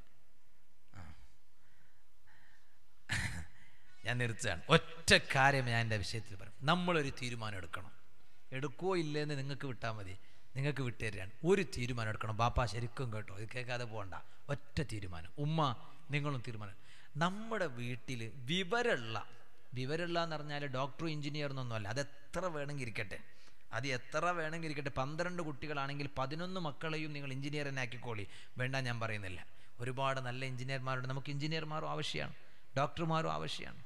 എല്ലാവരും മൊയിലാമാർ തന്നെ ആയാൽ പിന്നെ നമുക്ക് ബിൽഡിങ്ങെല്ലാം കെട്ടിയിരുന്നവനാരാ അപ്പം അതുകൊണ്ട് എഞ്ചിനീയർമാരോ ഡോക്ടർമാരൊക്കെ നമുക്ക് ആവശ്യമാണ്. ഇനിയുള്ള കാലങ്ങളിലൊക്കെ ഡോക്ടർമാർ വളരെ ആവശ്യമാണ്. അതേസമയത്ത് ഞാനൊരു കാര്യം പറയട്ടെ? നമ്മളൊരു തീരുമാനം എടുക്കണം ഒരു ആണും ഒരു പെണ്ണും. നമ്മുടെ വീട്ടിൽ ഒരു ആണും ഒരു പെണ്ണും. നല്ല ഇൽമുള്ള ഒരാണ് വേണം ഇൽമുള്ള ഒരു പെണ്ണ് വേണം. അള്ളാഹു ഭാഗ്യം തരട്ടെ. ഇപ്പം നിങ്ങളെ വീട്ടിൽ എത്ര പേരെ വീട്ടിൽ അങ്ങനെ ഒന്നുണ്ട് നിങ്ങൾ ചിന്തിക്കുക ആൺമക്കളുള്ളവരുണ്ടല്ലോ. നിങ്ങളൊന്ന് ആലോചിച്ച് നോക്ക്. എന്റെ മക്കളെ കൂട്ടത്തിൽ ഒരു മോൻ ആരെങ്കിലും ഇൽമു പഠിക്കുന്ന ഒരു ദർസിൽ പഠിക്കുന്ന മുത്താല്യമായിട്ടുണ്ടോ? ഉമ്മമാരെ നിങ്ങളൊന്ന് ആലോചിച്ച് നോക്ക്. പലയിടത്തും പരിസരങ്ങളിലൊക്കെ ശരീരത്ത് പെൺകുട്ടികൾ പഠിക്കുന്ന ശരീരത്ത് കോളേജൊക്കെ ഉണ്ടല്ലോ. അപ്പൊ എന്റെ മക്കളെ കൂട്ടത്തിൽ പെൺമക്കളെ കൂട്ടത്തിൽ ഒരു പെണ്ണ് ഇൽമു പഠിക്കണ ശരീരത്തിന്റെ നിയമം പഠിക്കുന്ന നാളെ ആഹ്റത്തിൽ ഉപകരിക്കുന്ന ഖബറിൽ കിടക്കുമ്പോൾ ഉപകരിക്കുന്ന ആ ഇൽമു പഠിക്കുന്ന ഒരു പെണ്ണുമോളുണ്ടോ എന്നൊരു തീരുമാനം എടുക്കണം. നമ്മുടെ വീട്ടിൽ വലിയ വെളിച്ചമാണ് ബർക്കത്താണ്. എന്താണെന്നറിയോ? വീട്ടിൽ ഇൽമുള്ള ഒരാളുണ്ടായാൽ അള്ളാഹു നമുക്ക് ആ ഭാഗ്യം തരട്ടെ. അള്ളാഹു ആ ഭാഗ്യം തരട്ടെ. അതാ ഇവിടെ ഇപ്പോൾ കുറേ മുത്താലിമ്യങ്ങളൊക്കെ പഠിക്കുന്നുണ്ടല്ലോ കെ സി റോഡിൽ ഞാൻ ഇവിടുത്തെ ജമാഅത്ത് കമ്മിറ്റിക്കാരെയും നാട്ടുകാരെയും ഒക്കെ അഭിനന്ദിക്കുകയാണ്. കാരണം വർഷങ്ങളായി ഇവിടെ ഇങ്ങനെ ദർസിങ്ങനെ നടന്നു വരികയാണ്. അള്ളാഹു താല ഈ ദർസിന്റെ തനിമൊക്കെ നിലനിർത്തി തരട്ടെ. ഇവിടെ ഭക്ഷണമൊക്കെ ക്യാന്റീനാ വീട്ടിൽ. ആ വീട് വീടുകളിൽ ആ ഭക്ഷണം. വലിയ വിഷയമാണല്ലോ അത് അള്ളാഹുവെ ഈ മുത്താലിമ്യങ്ങൾക്കൊക്കെ ഭക്ഷണം കൊടുക്കുന്ന ഉമ്മമാർക്കൊക്കെ നീ നല്ല ഹൈറ് നൽകണം റഹ്മാനെ. അവരെ വിഷമങ്ങളൊക്കെ നീ തീർത്തു കൊടുക്കണം റഹ്മാനെ. വേണം. ഒരു പെൺകുട്ടി നല്ല ഇൽമുള്ള ഒരു പെൺകുട്ടി വേണം. എന്താ അതുകൊണ്ട് നേട്ടമെന്നറിയോ എന്താ അതുകൊണ്ട് നേട്ടമെന്നറിയോ സ്ത്രീകളുമായി ബന്ധപ്പെട്ട ഒരുപാട് മസാല ഉണ്ടാവും. അത് അവർക്ക് മൊയ്ലാമാരോട് ചോദിക്കാൻ വേണ്ടി ഉണ്ടാവും ഉണ്ടാവൂലേ? ഭാര്യയ്ക്ക് ചോദിക്കാം ഭർത്താവ് മൊയ്ലിയാരാണെങ്കിൽ ഭർത്താവിനോട് ചോദിക്കുക. അല്ലാത്ത ഒരാൾക്ക് പല മസലം ചോദിക്കും പോലെ ഹൈദ് നിഫാസുമായി ബന്ധപ്പെട്ട മസല ചോദിക്കാൻ വേറെ മൊയ്ലിയാർക്ക് വിളിച്ചിട്ട് ചോദിക്കാൻ ധൈര്യമുണ്ടോ? അങ്ങനെ ചോദിക്കണമെങ്കിൽ അത്ര തൊലിക്കട്ടിയുള്ള പെണ്ണാണെങ്കിൽ അവൾ ചോദിക്കൂ. ലജ്ജയില്ലാത്ത പെണ്ണാണെങ്കിൽ ചോദിക്കൂ. അതേ സമയത്ത് നല്ല ലജ്ജയുള്ള പെണ്ണാണെങ്കിൽ അവൾ ചോദിക്കൂല്ല. അപ്പം വീട്ടിൽ നല്ല ഇൽമുള്ളൊരു പെണ്ണ് വേണം. എന്നാൽ പിന്നെ അവളോട് വീട്ടിലെ ഉമ്മാക്ക് എന്തും ചോദിക്കാലോ? ഇനി അങ്ങനല്ല മകൻ കല്യാണം കഴിച്ച് കൊണ്ടുവരുന്ന പെണ്ണ് മരുമകൾ നല്ല ശരീരത്ത് പഠിച്ച പെൺകുട്ടീനെയാണ് മോൻ കെട്ടിയതെങ്കിൽ എന്നാൽ ആ വീട്ട വീട്ടുകാർ നല്ല വെളിച്ചമുള്ളവരാകും. എന്റെ കാരണം? എന്താ ഈ പെണ്ണ് ശരീരത്ത് മാത്രം പഠിച്ചാൽ പറ്റൂല. ശരീരത്ത് ശരി അത്ത് എന്നാവാൻ പാടില്ല. ശരീരത്ത് ശരിയത്ത് തന്നെ ആവണം. ശരിയത്ത് അവ അങ്ങനെ ആവാൻ പാടില്ല. ശരീരത്ത് പൂർണമായിട്ട് ശരീരത്ത് പഠിക്കുന്ന പെണ്ണാവണം. ഇവളിങ്ങനെ ബാപ്പാന്റെ ഉമ്മാന്റെ ഒക്കെ ഒത്തായത്തിന് ശരീരത്ത് പഠിച്ച് എന്നാൽ ഇവൾ ശരീരത്ത് പഠിക്കേണ്ട ആവശ്യം തന്നെ ഇല്ലായിരുന്നു. ഇല്ലെങ്കിൽ നല്ല ആയിരുന്നു പഠിച്ചിട്ട് ഇവൾ ബെടുക്കായി പോയി. എന്നൊരവസ്ഥ ആകാനും പാടില്ല. അതേസമയം ഞാൻ പറഞ്ഞു വന്നത് അങ്ങനെ ആകുമ്പോൾ വീട്ടിൽ എന്ത് മസാല അവർക്ക് ചോദിക്കാം? ഒരു മോനുണ്ടെങ്കിൽ നിങ്ങൾ ആലോചിച്ചേക്ക് ഒരു മകൻ ആലിമായ ഒരു മകനുണ്ടെങ്കിൽ ആ മകനെ കൊണ്ട് ഒരുപാട് കയറ് കിട്ടും. ഒരു തങ്ങളടുത്ത് പോകണമെങ്കിലോ ആ മകൻ പറയും ഇന്ന് തങ്ങളടുത്ത് പോയാൽ മതി ഇന്നാളടുത്ത് പോയാൽ മതി ഇന്നാളെ സമീപിച്ചാൽ മതി. അല്ലെങ്കിൽ പല പ്രയാസങ്ങൾക്കും ആ മകൻ പരിഹാരമാണ് ചേരും വീട്ടിൽ നല്ല ഇലുമുള്ള രണ്ട് പേര് വേണം ആണും വേണം പെണ്ണും വേണം. മഹാന്മാരുടെയൊക്കെ ചരിത്രത്തിൽ അങ്ങനെയായിരുന്നു. ഇപ്പം അതൊന്നും കൂടുതൽ പറയാൻ സമയമില്ല. ഞാൻ ചുരുക്കിയാണ്. ഞാൻ ഒറ്റ കാര്യം പറഞ്ഞു നിർത്തുന്നു. ഞാൻ പറഞ്ഞു വന്നത് സയ്യദുന നിങ്ങൾ നോക്കൂ ഒരു മഹതിയെക്കുറിച്ച് പരിചയമുണ്ടോ? ആ മഹതി ആരാണ്? അതാ സയ്യിദ് ഇബ്നുൽ മുസയ്യബ് റളിയല്ലാഹു അൻഹു. മഹാനവരുകൾ നാൽപ്പത് വർഷക്കാലം മദീനത്തെ പള്ളിയിൽ ദർസ് നടത്തിയ മഹാനാണ്. ഒരു വർഷമല്ല നാൽപ്പത് വർഷം. ഈ നാൽപ്പത് വർഷക്കാലം മദീനത്തെ പള്ളിയിൽ ദർസ് നടത്തുമ്പോൾ പള്ളി വിട്ടാൽ വീട് വീട് വിട്ടാൽ പള്ളി. അല്ലെങ്കിൽ എവിടെയെങ്കിലും പോയിട്ട് തട്ടുകടയിൽ പോയി തിന്നുന്ന സ്വഭാവമൊന്നും സയ്യിദുൽ മുസയ്യബ് തങ്ങൾക്കില്ല. വലിയ ഗാംഭീര്യമുള്ള പഹാനാണ് പണ്ഡിതനാണ് വലിയ മുദരിസാണ്. മദീനത്തെ പള്ളിയിൽ ദർസ് നടത്താൻ ഭാഗ്യം കിട്ടിയ മഹാനാണ്. ആ സയ്യിദ് ബിനുൽ മുസയ്യബ് റളിയല്ലാഹുവിനു പള്ളിയുടെ ഉസ്താദിനൊരു മകളുണ്ട്. ആ മകൾ കാണാൻ നല്ല സുന്ദരിയായ മോളാണ്. കേവലം സുന്ദരിയായ മോളെന്ന് മാത്രമല്ല നല്ല ഇൽമുണ്ട് ദീനുണ്ട് ഹയാ ഉണ്ട് എല്ലാം ഉള്ള മോളാണ്. ആ സഈദ് ഇബ്നുൽ മുസയ്യബ് റളിയല്ലാഹു എന്നുവിന്റെ മകൾ ആ മകളെ ആലോചിച്ചു കൊണ്ട് വരുന്നു. ആരാണ് ഭരണാധികാരിയാ വരുന്നത്? ഖലീഫ അബ്ദുൽ മലിക് ബിൻ മർവാൻ തന്റെ മകന് വേണ്ടി ആലോചന ചോദിച്ചു വരികയാണ്. ഭരണാധികാരി പള്ളിത്തെ മൊയ്ലിയാരെ മോളെ അന്വേഷിച്ച് വരികയാണ്. പള്ളിത്തെ ഉസ്താദിനോട് വന്ന് ചോദിക്കുകയാണല്ല ഉസ്താദേ സഹീദ് ബിൻ മുസയ്യബ് തങ്ങളോട് ചോദിക്കുകയാണ് നിങ്ങളെ മകളെ എന്റെ മകന് കെട്ടിച്ചു തരുമോ? മഹാനവരുകൾ സമ്മതിച്ചില്ല മഹാനവരുകൾ വിസമ്മതിച്ചു ഭരണാധികാരിയുടെ മകൾക്ക് കെട്ടിച്ചു കൊടുക്കാനല്ല എന്റെ മകളുള്ളത്. എന്റെ മകളുള്ള മകൾ ഇൽമുള്ള മോളാണ്. അവൾ പണ്ഡിതയാണ്. അവൾ ഹയാ ഉള്ള മോളാണ്. എന്നിട്ട് ആ മകൻ ആ മോളെ കെട്ടിച്ചു കൊടുത്തത് ആർക്കാണെന്നറിയാമോ? സ്വന്തം ദർസിൽ ഓതിപ്പടിച്ച ശിഷ്യനാണ്. ആ ശിഷ്യൻ വലിയ പണക്കാരനല്ല വലിയ കോടീശ്വരനല്ല വലിയ മുതലാളിയല്ല. ആ ശിഷ്യനാണ് കെട്ടിച്ചു കൊടുക്കുന്നത്. ആ ശിഷ്യനാണ് അതാ കസീറുബിന് അബീവിതാ മകളെ കെട്ടിച്ചയച്ചാ മാത്രം പോരല്ലോ. ദർസിൽ പഠിക്കുന്ന മുത്താലിമാണ്. മുത്താലിമിനെ കെട്ടിച്ചയച്ചു. മുത്താലിമിന് ഈ പെണ്ണിന് ഭാര്യയൊക്കെ ചെലവിന് കൊടുക്കണ്ടേ? മുത്താലിമിന് ശമ്പളം കിട്ടൂലല്ലോ. മുത്താലിമിന് ശമ്പളം കിട്ടൂലല്ലോ. അന്ന് ഈ അമ്മോശൻ എന്ത് ചെയ്തു? ഭാര്യയുടെ പിതാവ് മകളെ കെട്ടിച്ചയക്കുന്ന സമയത്ത് ഒരു അയ്യായിരം വെള്ളി നാണയം മരുമകന് കൊടുത്തു. അയ്യായിരം വെള്ളി നാണയം കൊടുത്തു. കാശി കൊടുത്തു എന്നും പറഞ്ഞിട്ട് ഇനി കാശി വാങ്ങാമെന്ന് നിങ്ങൾ ന്യായീകരിക്കണ്ട. മറിച്ച് അത് ചോദിച്ചു കൊടുത്തതല്ല ഡിമാൻഡ് വെച്ച് കൊടുത്തതല്ല മറിച്ച്. മുത്തല്ലിമാണ് മരുമകൻ. മകളെ ഭർത്താവ് മുത്താലിമാണ് മകൾക്ക് ചെലവിന് കൊടുക്കണ്ടേ? എന്നാൽ എന്റെ മരുമകന്റെ കയ്യിൽ എവിടെയാ പൈസ? അപ്പൊ അമ്മോശം തന്നെ ഭാര്യയുടെ ബാപ്പ. മരുമകന് അയ്യായിരം വെള്ളി നാണയം കൊടുത്തു. എന്നിട്ട് പറഞ്ഞു മോനെ ഇതെന്റെ മകൾക്ക് ചെലവഴിക്കണം കേട്ടു. എന്റെ മകൾക്ക് ചെലവിന് കൊടുക്കാൻ നിന്റെ കയ്യിൽ വേറെ പൈസ ഇല്ലാന്നൊന്നും നീ പ്രയാസപ്പെടണ്ട. ചെലവിന് കൊടുക്കണോ? കല്യാണം കഴിഞ്ഞു. വീട്ടുകൂടി കൂട്ടിക്കൊണ്ടുപോയി. എന്നാൽ ഈ ഭർത്താവ് പുതിയാപ്പിള ഭർത്താവായ പുതിയാപ്പിളയായ ഭർത്താവ് മുത്താലിമാണ് പിറ്റേന്ന് സുബഹിക്ക് അതാ ഉസ്താദിന്റെ അരികിൽ ഇൽമു പഠിക്കാൻ വേണ്ടി മദീനത്തെ പള്ളിയിൽ പോകുമ്പോൾ ഭാര്യ ചോദിച്ചു സയ്യിദ് അബുൽ മുസയ്യിബ് തങ്ങളുടെ മകൾ ചോദിച്ചു ഇല ഐന അല്ല ഭർത്താവേ നിങ്ങൾ എവിടെ പോണു? ഇന്നലെ മങ്ങിലായ എത്രമേ ഇപ്പൊ സുബൈക്ക് എവിടെ നിങ്ങൾ ഓർഡറോ മങ്ങിലായിട്ട് ഒരു മൂന്നാലല്ല ഇല്ലേ? ഒരു മൂന്നാൽ നാലല്ല ഇല്ലേ? നിങ്ങൾ ഇപ്പൊ സുബൈക്ക് എവിടെ ഓർഡറോ ഭർത്താവ് ഈ ശിഷ്യൻ പറയുകയാണ് ബാപ്പാന്റെ ശിഷ്യൻ പറയുന്നു ഭർത്താവ് പറയാണ് പെണ്ണെ നിന്റെ പിതാവിന്റെ ദർസിലേക്ക് പഠിക്കാൻ പോവുകയാണ്. ഇൽമ ഞാൻ ഇൽമു പഠിക്കട്ടെ.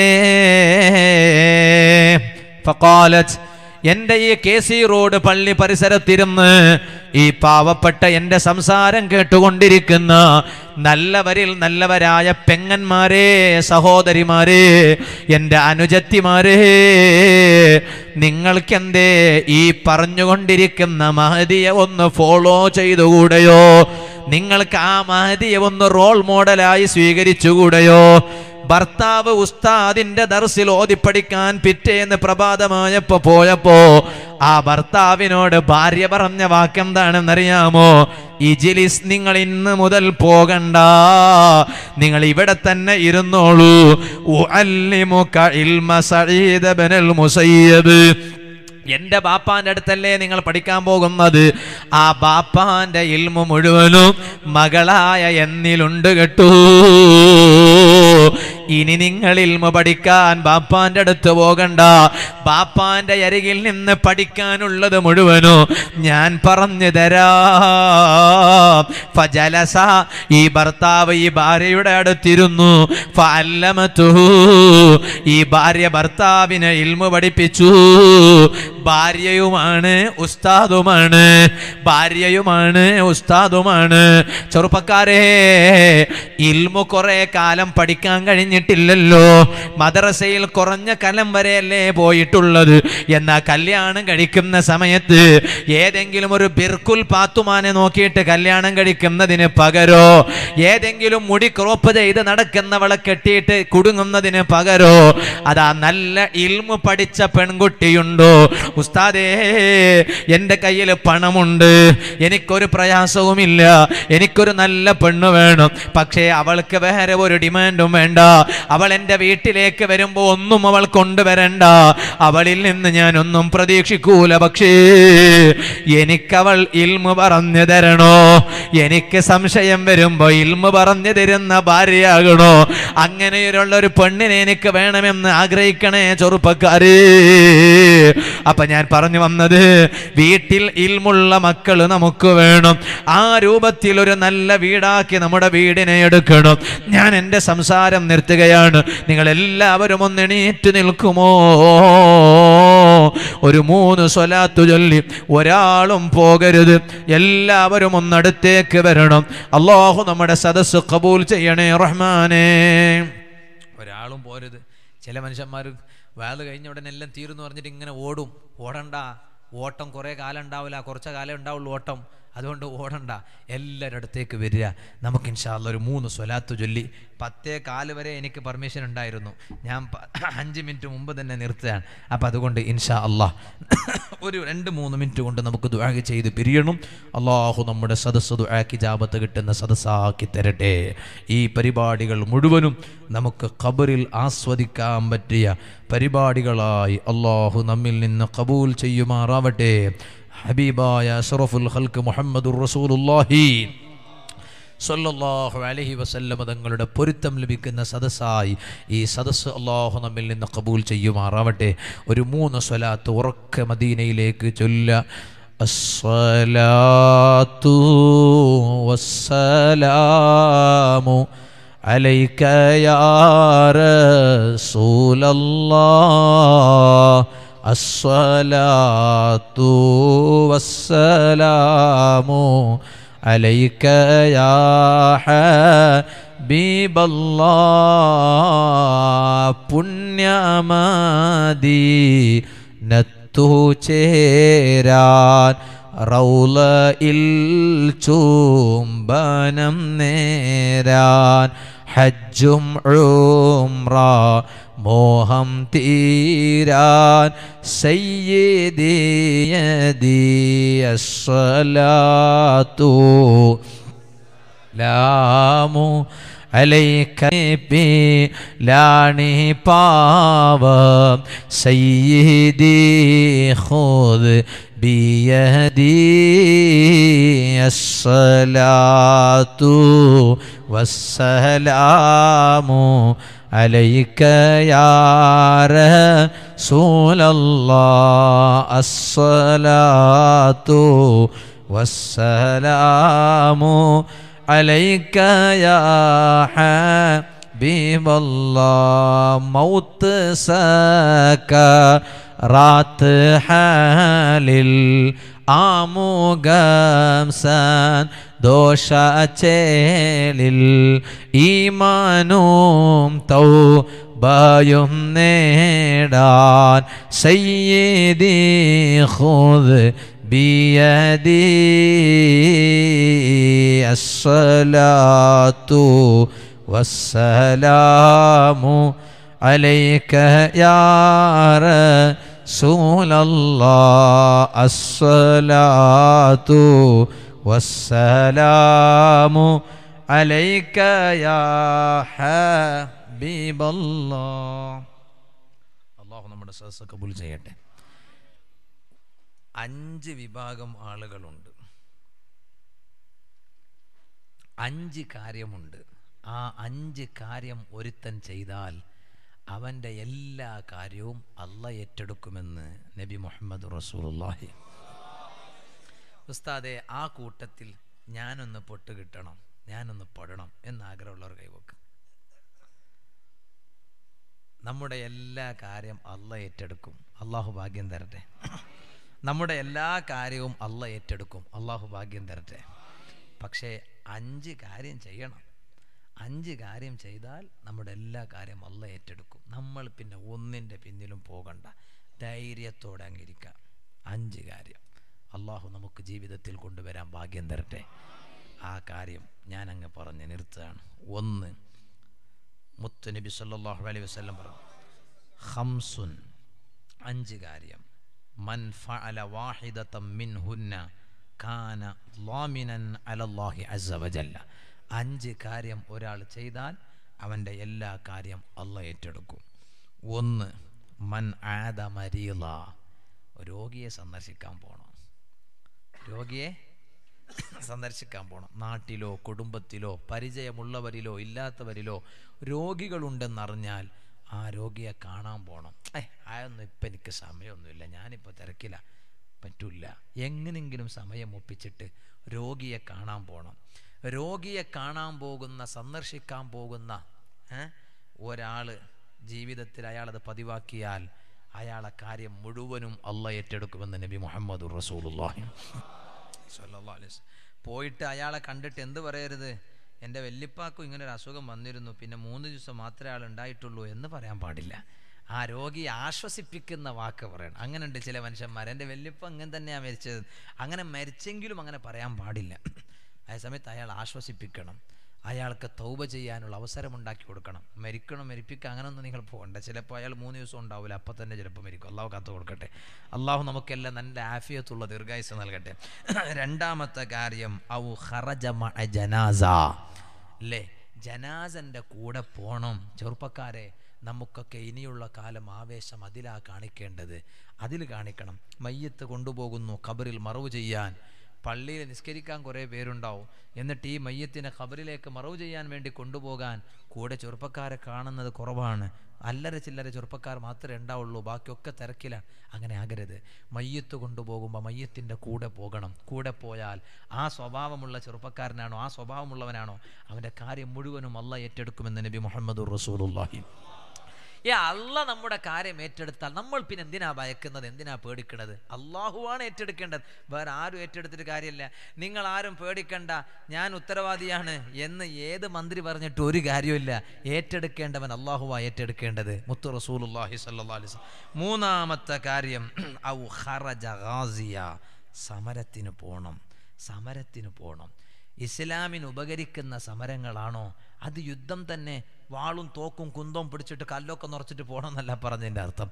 മറിച്ച് സമരം ചെയ്യാനാണോ? മാന്യമായിട്ടുള്ള സമരം നീതിപൂർണമായ സമരം ന്യായത്തിനൊത്തുകൊണ്ടുള്ള സമരം. ആ സമരത്തിന് അവസരം കിട്ടിയാൽ പുരുഷന്മാരെ നിങ്ങൾ സമരത്തിന് പോകണം. അങ്ങനെയാണോ? സമരമാണ് സമരമാണ്. ഏറ്റവും വലിയ സമരം ആ സുബൈ ജമാഅത്തിന് പള്ളിയിൽ വരിക. പിശാജിനോടുള്ള സമരമാണ്. നമ്മൾ ആരാനോട് പിശാ സമരം നടത്തിയിട്ട് ഒരു കാര്യമില്ല. പിശാജിനോട് സമരം നടത്തണം. ചെറുപ്പക്കാരെ അഡ്യാർ കണ്ണൂരിലേക്ക് പോകണം പോകണം അഡ്യാർ കണ്ണൂരിലേക്ക് മാത്രം പോയാൽ പോരാ. സുബൈ ജമാഅത്തിന് പള്ളിയിൽ വരണം. സമരം നടത്തണം. അത് പിശാജിനോടുള്ള സമരമാണ് സമരം ജീവിതത്തിൽ പതിവാക്കിയവൻ അവന്റെ കാര്യം മുഴുവനും അല്ല ഏറ്റെടുക്കും. മൂന്ന്.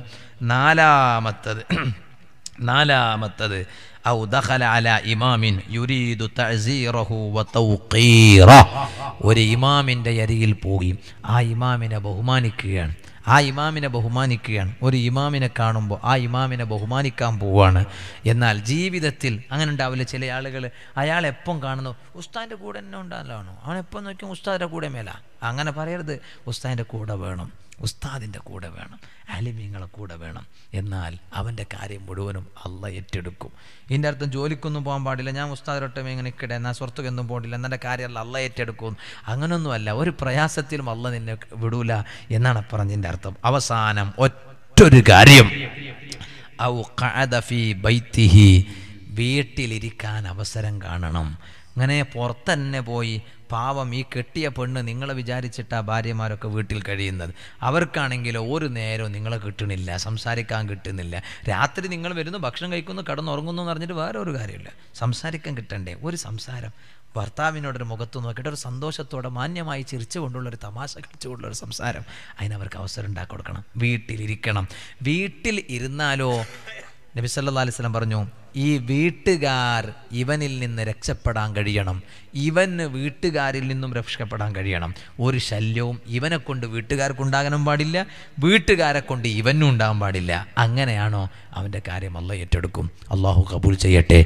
ഈ അഞ്ച് കാര്യം ഈ സദസ്സിൽ അവതരിപ്പിച്ച് ഞാൻ എന്റെ സംസാരം നിർത്തുകയാണ്. അള്ളാഹു നമ്മുടെ ഈ സദസ്സ് നമ്മിൽ നിന്ന് കബൂൽ ചെയ്യുമാറാവട്ടെ. എല്ലാവരും നിങ്ങളെ കയ്യിലുള്ള നല്ല സംഭാവന എന്റെ കയ്യിൽ തരിക. മുസാഫായത്ത് നടക്കും. സംഭാവന തരലും വാങ്ങലും ഒരേ സമയം അതേ സമയത്ത് തന്നെ ദുആയും നടക്കും. ഞാൻ ഇങ്ങോട്ട് വരുന്ന സമയത്ത് പലരും ദുആ ചെയ്യാൻ വേണ്ടി പറഞ്ഞിട്ടുണ്ട്. ഈ അടുത്ത് തന്നെ ഇവിടെ കല്യാണം നടന്ന പലരും പുതിയാപ്പിളമാരും കല്യാണത്തിന് വേണ്ടി എന്നെ ക്ഷണിച്ചു. എന്നെ എനിക്ക് വരാൻ കഴിഞ്ഞിട്ടില്ല. അള്ളാഹു താല അവർക്കൊക്കെ ബർക്കത്ത് ചെയ്യട്ടെ. ഖൈറ് നൽകട്ടെ. മോണ്ടുകോളിക്കാരനായ ഇല്യാസ് എന്ന് പറയുന്ന നമ്മുടെയൊക്കെ മൂടബിദർ ദർസിന്റെ വലിയ സഹകാരിയാണ്. ഉമ്മയുടെ ഓപ്പറേഷൻ ഇന്ന് വൈകുന്നേരം നടന്നു എന്ന് പറഞ്ഞു. അള്ളാഹു ആ ഉമ്മാക്ക് കാമിലായ ഷിഫാ നൽകട്ടെ ആഫിയത്ത് നൽകട്ടെ. എല്ലാവർക്കും അള്ളാഹു ബറക്കത്ത് ചെയ്യട്ടെ. ഇൻഷാ അള്ളാഹ് ദുആ ചെയ്യാൻ വേണ്ടി പോവാണ്. എന്താ ആരും കീശക്കൊന്നും കൈയിടാത്തത്? വേഗം കീശ കൈയിടി സമയം വൈകുകയാണ് വേഗം കൈയിടി ഉള്ളത് നോക്കിയിട്ട് തന്നെ എടുത്താൽ മതി. അഞ്ഞൂറ് മാറിയിട്ട് രണ്ടായിരം മാറിയിട്ട് അഞ്ഞൂറ് ആവുമെന്ന് വേണ്ട. രണ്ടായിരമാണ് രണ്ടായിരം തന്നെ. അഞ്ഞൂറാണെങ്കിൽ അഞ്ഞൂറ് തന്നെ നൂറ് നൂറ്. ഉള്ളതങ്ങ് തരാം. അള്ളാഹു കബൂൾ ചെയ്യട്ടെ. നമ്മുടെ ഈ സദസ് അള്ളാഹു നമ്മിൽ നിന്ന് സ്വീകരിക്കുമാറാവട്ടെ. ആ കയ്യിൽ കയ്യിൽ പിടിക്കണം മൈക്ക് അവിടെ ആ കയ്യിലെടുത്താൽ മതി. ഇൻഷാ അള്ളാഹ് ഒരു മൂന്ന് സ്വലാത്ത്. സല്ലല്ലാഹു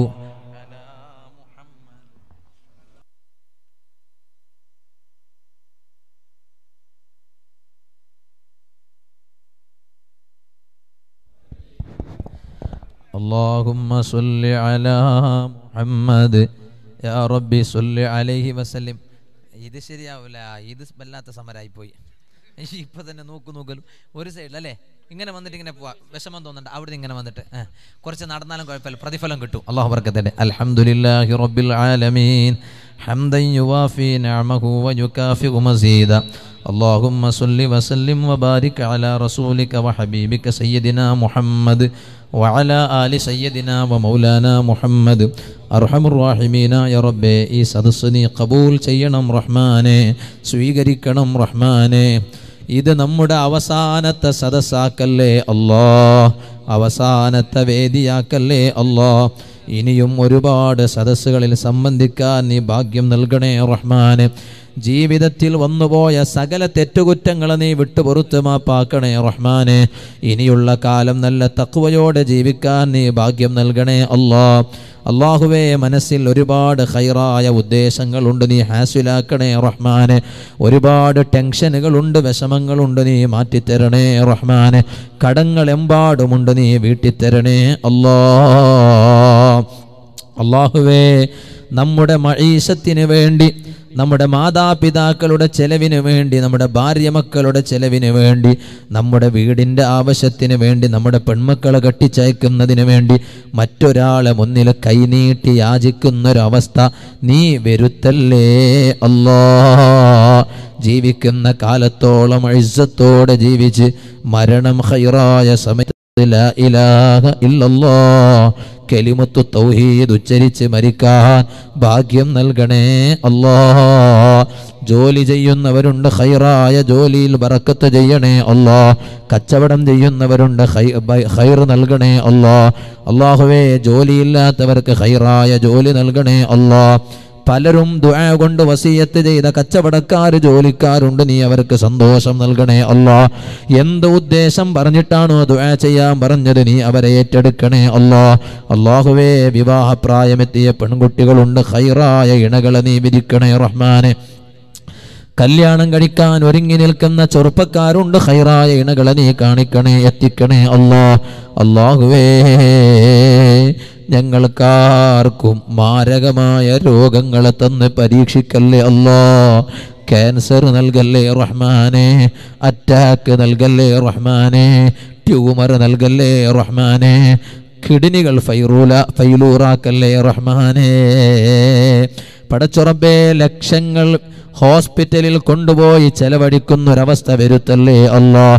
ഞങ്ങളിലോ ഞങ്ങളെ ഉമ്മ ബാപ്പന്മാരിലോ ഞങ്ങളെ ഭാര്യ മക്കളിലോ ഞങ്ങളെ ശിഷ്യന്മാരിലോ ഞങ്ങളെ ദർസിനെ സ്നേഹിക്കുന്നവരിൽ സഹായിക്കുന്നവരിലോ ഞങ്ങളെ വാലിന്റെ സദസ്സുകളിൽ ഒരുമിച്ച് കൂടുന്നവരിലോ ഇന്നേ വരെയുള്ള ഏതെല്ലാം സദസ്സിൽ ഒരുമിച്ച് കൂടിയവരിലോ വല്ല മാരകമായ രോഗങ്ങളുടെ മാരകമായ അണുക്കളുണ്ടെങ്കിൽ ഈ സമയത്ത് തന്നെ നീ കരിച്ച് കളയണേ. അല്ലാ അള്ളാഹുവേ പെട്ടെന്നുള്ള മരണത്തെ തൊട്ട് നീ ഞങ്ങളെ കാക്കണേ റഹ്മാനെ. ഫുജഅത്തുൽ മൗത്തിനെ തൊട്ട് നീ ഞങ്ങളെ കാക്കണേ റഹ്മാനെ. പെട്ടെന്നുള്ള മരണത്തെ തൊട്ട് നീ ഞങ്ങളെ കാക്കണേ റഹ്മാനെ. അപകട മരണത്തെ തൊട്ട് നീ ഞങ്ങളെ കാക്കണേ റഹ്മാനെ. അർഹമുറാഹിമീനായ അള്ളാ നിന്റെ പൊരുത്തത്തിലായി നല്ല ആരോഗ്യമുള്ള ദീർഘായുസ് നൽകണേ റഹ്മാനെ. ഞങ്ങളെ ജീവിതത്തിൽ വന്നുപോയ തെറ്റുകൾ കാരണമായി നീ ഞങ്ങളെ പരീക്ഷിക്കല്ലേ റഹ്മാനെ? ഞങ്ങൾക്ക് നീ ഇഫത്ത് തരണേ അല്ലാ ഇസ്സത്ത് തരണേ അല്ലാ കൂവത്ത് തരണേ അല്ലാ. അള്ളാഹുവേ നമ്മുടെ ഇന്ത്യ മഹാരാജ്യത്തിന്റെ തനിമ നീ അതിനൊരൽപ്പം പോലും മങ്ങലേൽക്കാതെ നീ കാത്തു സൂക്ഷിക്കണേ അല്ല. ഞങ്ങളെ കൊണ്ടത് കഴിയില്ല നീ ആ കാര്യം ഏറ്റെടുത്ത് ഭംഗിയാക്കി തരണേ അല്ലാ. ഇവിടെയുള്ള മതവിശ്വാസികൾക്കിടയിൽ സൗഹൃദം നീ നിലനിർത്തണേ അല്ലോ. നമ്മുടെ നാട്ടിന്റെ മതമൈത്രി നിലനിർത്തണേ അല്ലോ. നമ്മുടെ നാട്ടിന്റെ സൗഹൃദം നിലനിർത്തണേ അല്ലോ. ഈ ഉമ്മത്തിനെ നീ ഐക്യപ്പെടുത്തണേ അല്ലോ. ഈ ഉമ്മത്തിനെ നീ ഒന്നിപ്പിക്കണേ അല്ലോ. അള്ളാഹുവേ നമ്മുടെ ഈ മഹാരാജ്യത്തിന്റെ തനിമക്ക് മങ്ങലേൽക്കാൻ ആര് കാരണക്കാരായിട്ടുണ്ടോ?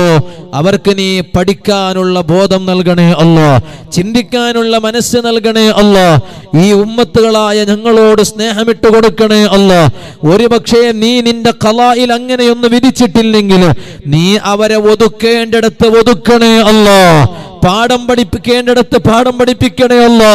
അവരെ കണ്ട് മറ്റുള്ളവർക്ക് പാഠം പഠിക്കാൻ അവസരം നൽകണേ അല്ലോ. റബ്ബേ. ഈ മഹലിലെ കമ്മിറ്റിയുടെ ഉത്തരവാദിത്വപ്പെട്ട ആളുകൾ ഈ പരിപാടിയുടെ സംഘാടകർ ഇവിടെ സേവനം ചെയ്യുന്ന ഉസ്താദുമാർ ഇവിടെ പഠിക്കുന്ന മുത്തല്ലിമീങ്ങൾ ഈ കെ സി റോഡ് മഹല്ലിൻ കീഴിൽ എത്ര വീടുകളുണ്ടോ മുഴുവൻ ആളുകൾക്കും നീ ഐശ്വര്യം നൽകണേ റഹ്മാന്. ഖൈറ് നൽകണേ റഹ്മാന്. അള്ളാഹുവേ ഞങ്ങൾ ഹജ്ജിന് പോയിട്ടില്ല. അടുത്ത ഭാവിയിൽ മക്ബൂലും അബറൂറുമായ ഹജ്ജ് ഉംറ ചെയ്യാൻ നീ ഞങ്ങൾക്ക് ഭാഗ്യം നൽകണേ റഹ്മാന്. ഭാഗ്യം നൽകണേ റഹ്മാന്. മദീനയിൽ നിരവധി പ്രാവശ്യം പോകാൻ അവസരം നൽകണേ അല്ലോ പടച്ച റബ്ബേ അവസാനം മരണം ഖൈറായ സമയത്ത് ലാ ഇലാഹ കലിമത്തു തൗഹീദ് ഉച്ചരിച്ച് മരിക്കാനുള്ള ഭാഗ്യം നൽകണേ അല്ലാ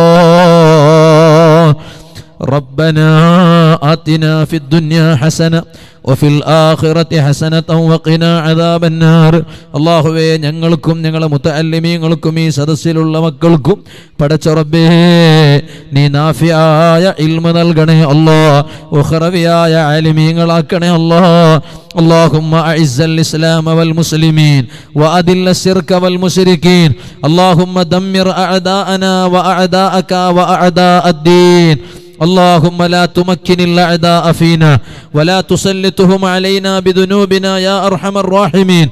ربنا افتح بيننا وبين قومنا بالحق وأنت خير الفاتحين. ربنا آتنا في الدنيا حسنة وفي الآخرة حسنة وقنا عذاب النار. ربنا تقبل منا إنك أنت السميع العليم. റഹീം. ഈ നാട്ടുകാരും അല്ലാത്തവരുമായ ഒരുപാട് പ്രവാസികളും അല്ലാത്തവരും ഈ പരിപാടി ലൈവിൽ കണ്ടുകൊണ്ടിരിക്കുന്നു. നീ അവരെ ഏറ്റെടുക്കണേ അല്ലാ. ഞങ്ങളെ ദുആനി കബൂൽ ചെയ്യണേ അല്ലാ. ആമീന ബിറഹ്മതിക യാ അർഹമർ الله على സല്ലല്ലാഹു അലാ മുഹമ്മദ് സല്ലല്ലാഹു അലൈഹി വസല്ലം സല്ലല്ലാഹു അലാ മുഹമ്മദ് صلى الله عليه وسلم اللهم صل على محمد يا رب صل عليه وسلم എല്ലാവരുടെ ദുആ കൊണ്ട് വസിയത്ത് ചെയ്യുന്നു അസ്സലാമു അലൈക്കും വറഹ്മത്തുള്ളാഹി സഹോദരന്മാരെ നാളെ ഈ മഹത്തായ വേദിയിൽ മുഖ്യപ്രഭാഷണം നടത്തുന്നത് യുവവാഗ്മിയായ മൗലാന അഷ്റഫ് ജൗഹരി എരുമാട് സ്ഥാതവറുകളാകുന്നു ആയതിനാൽ നേരത്തെ നമ്മുടെ പരിപാടി തുടങ്ങും. ഇൻഷാല്ല എല്ലാവരും കൃത്യസമയത്ത് വന്ന് സഹകരിച്ച് തരമണമിരി അറിയിക്കുന്നു.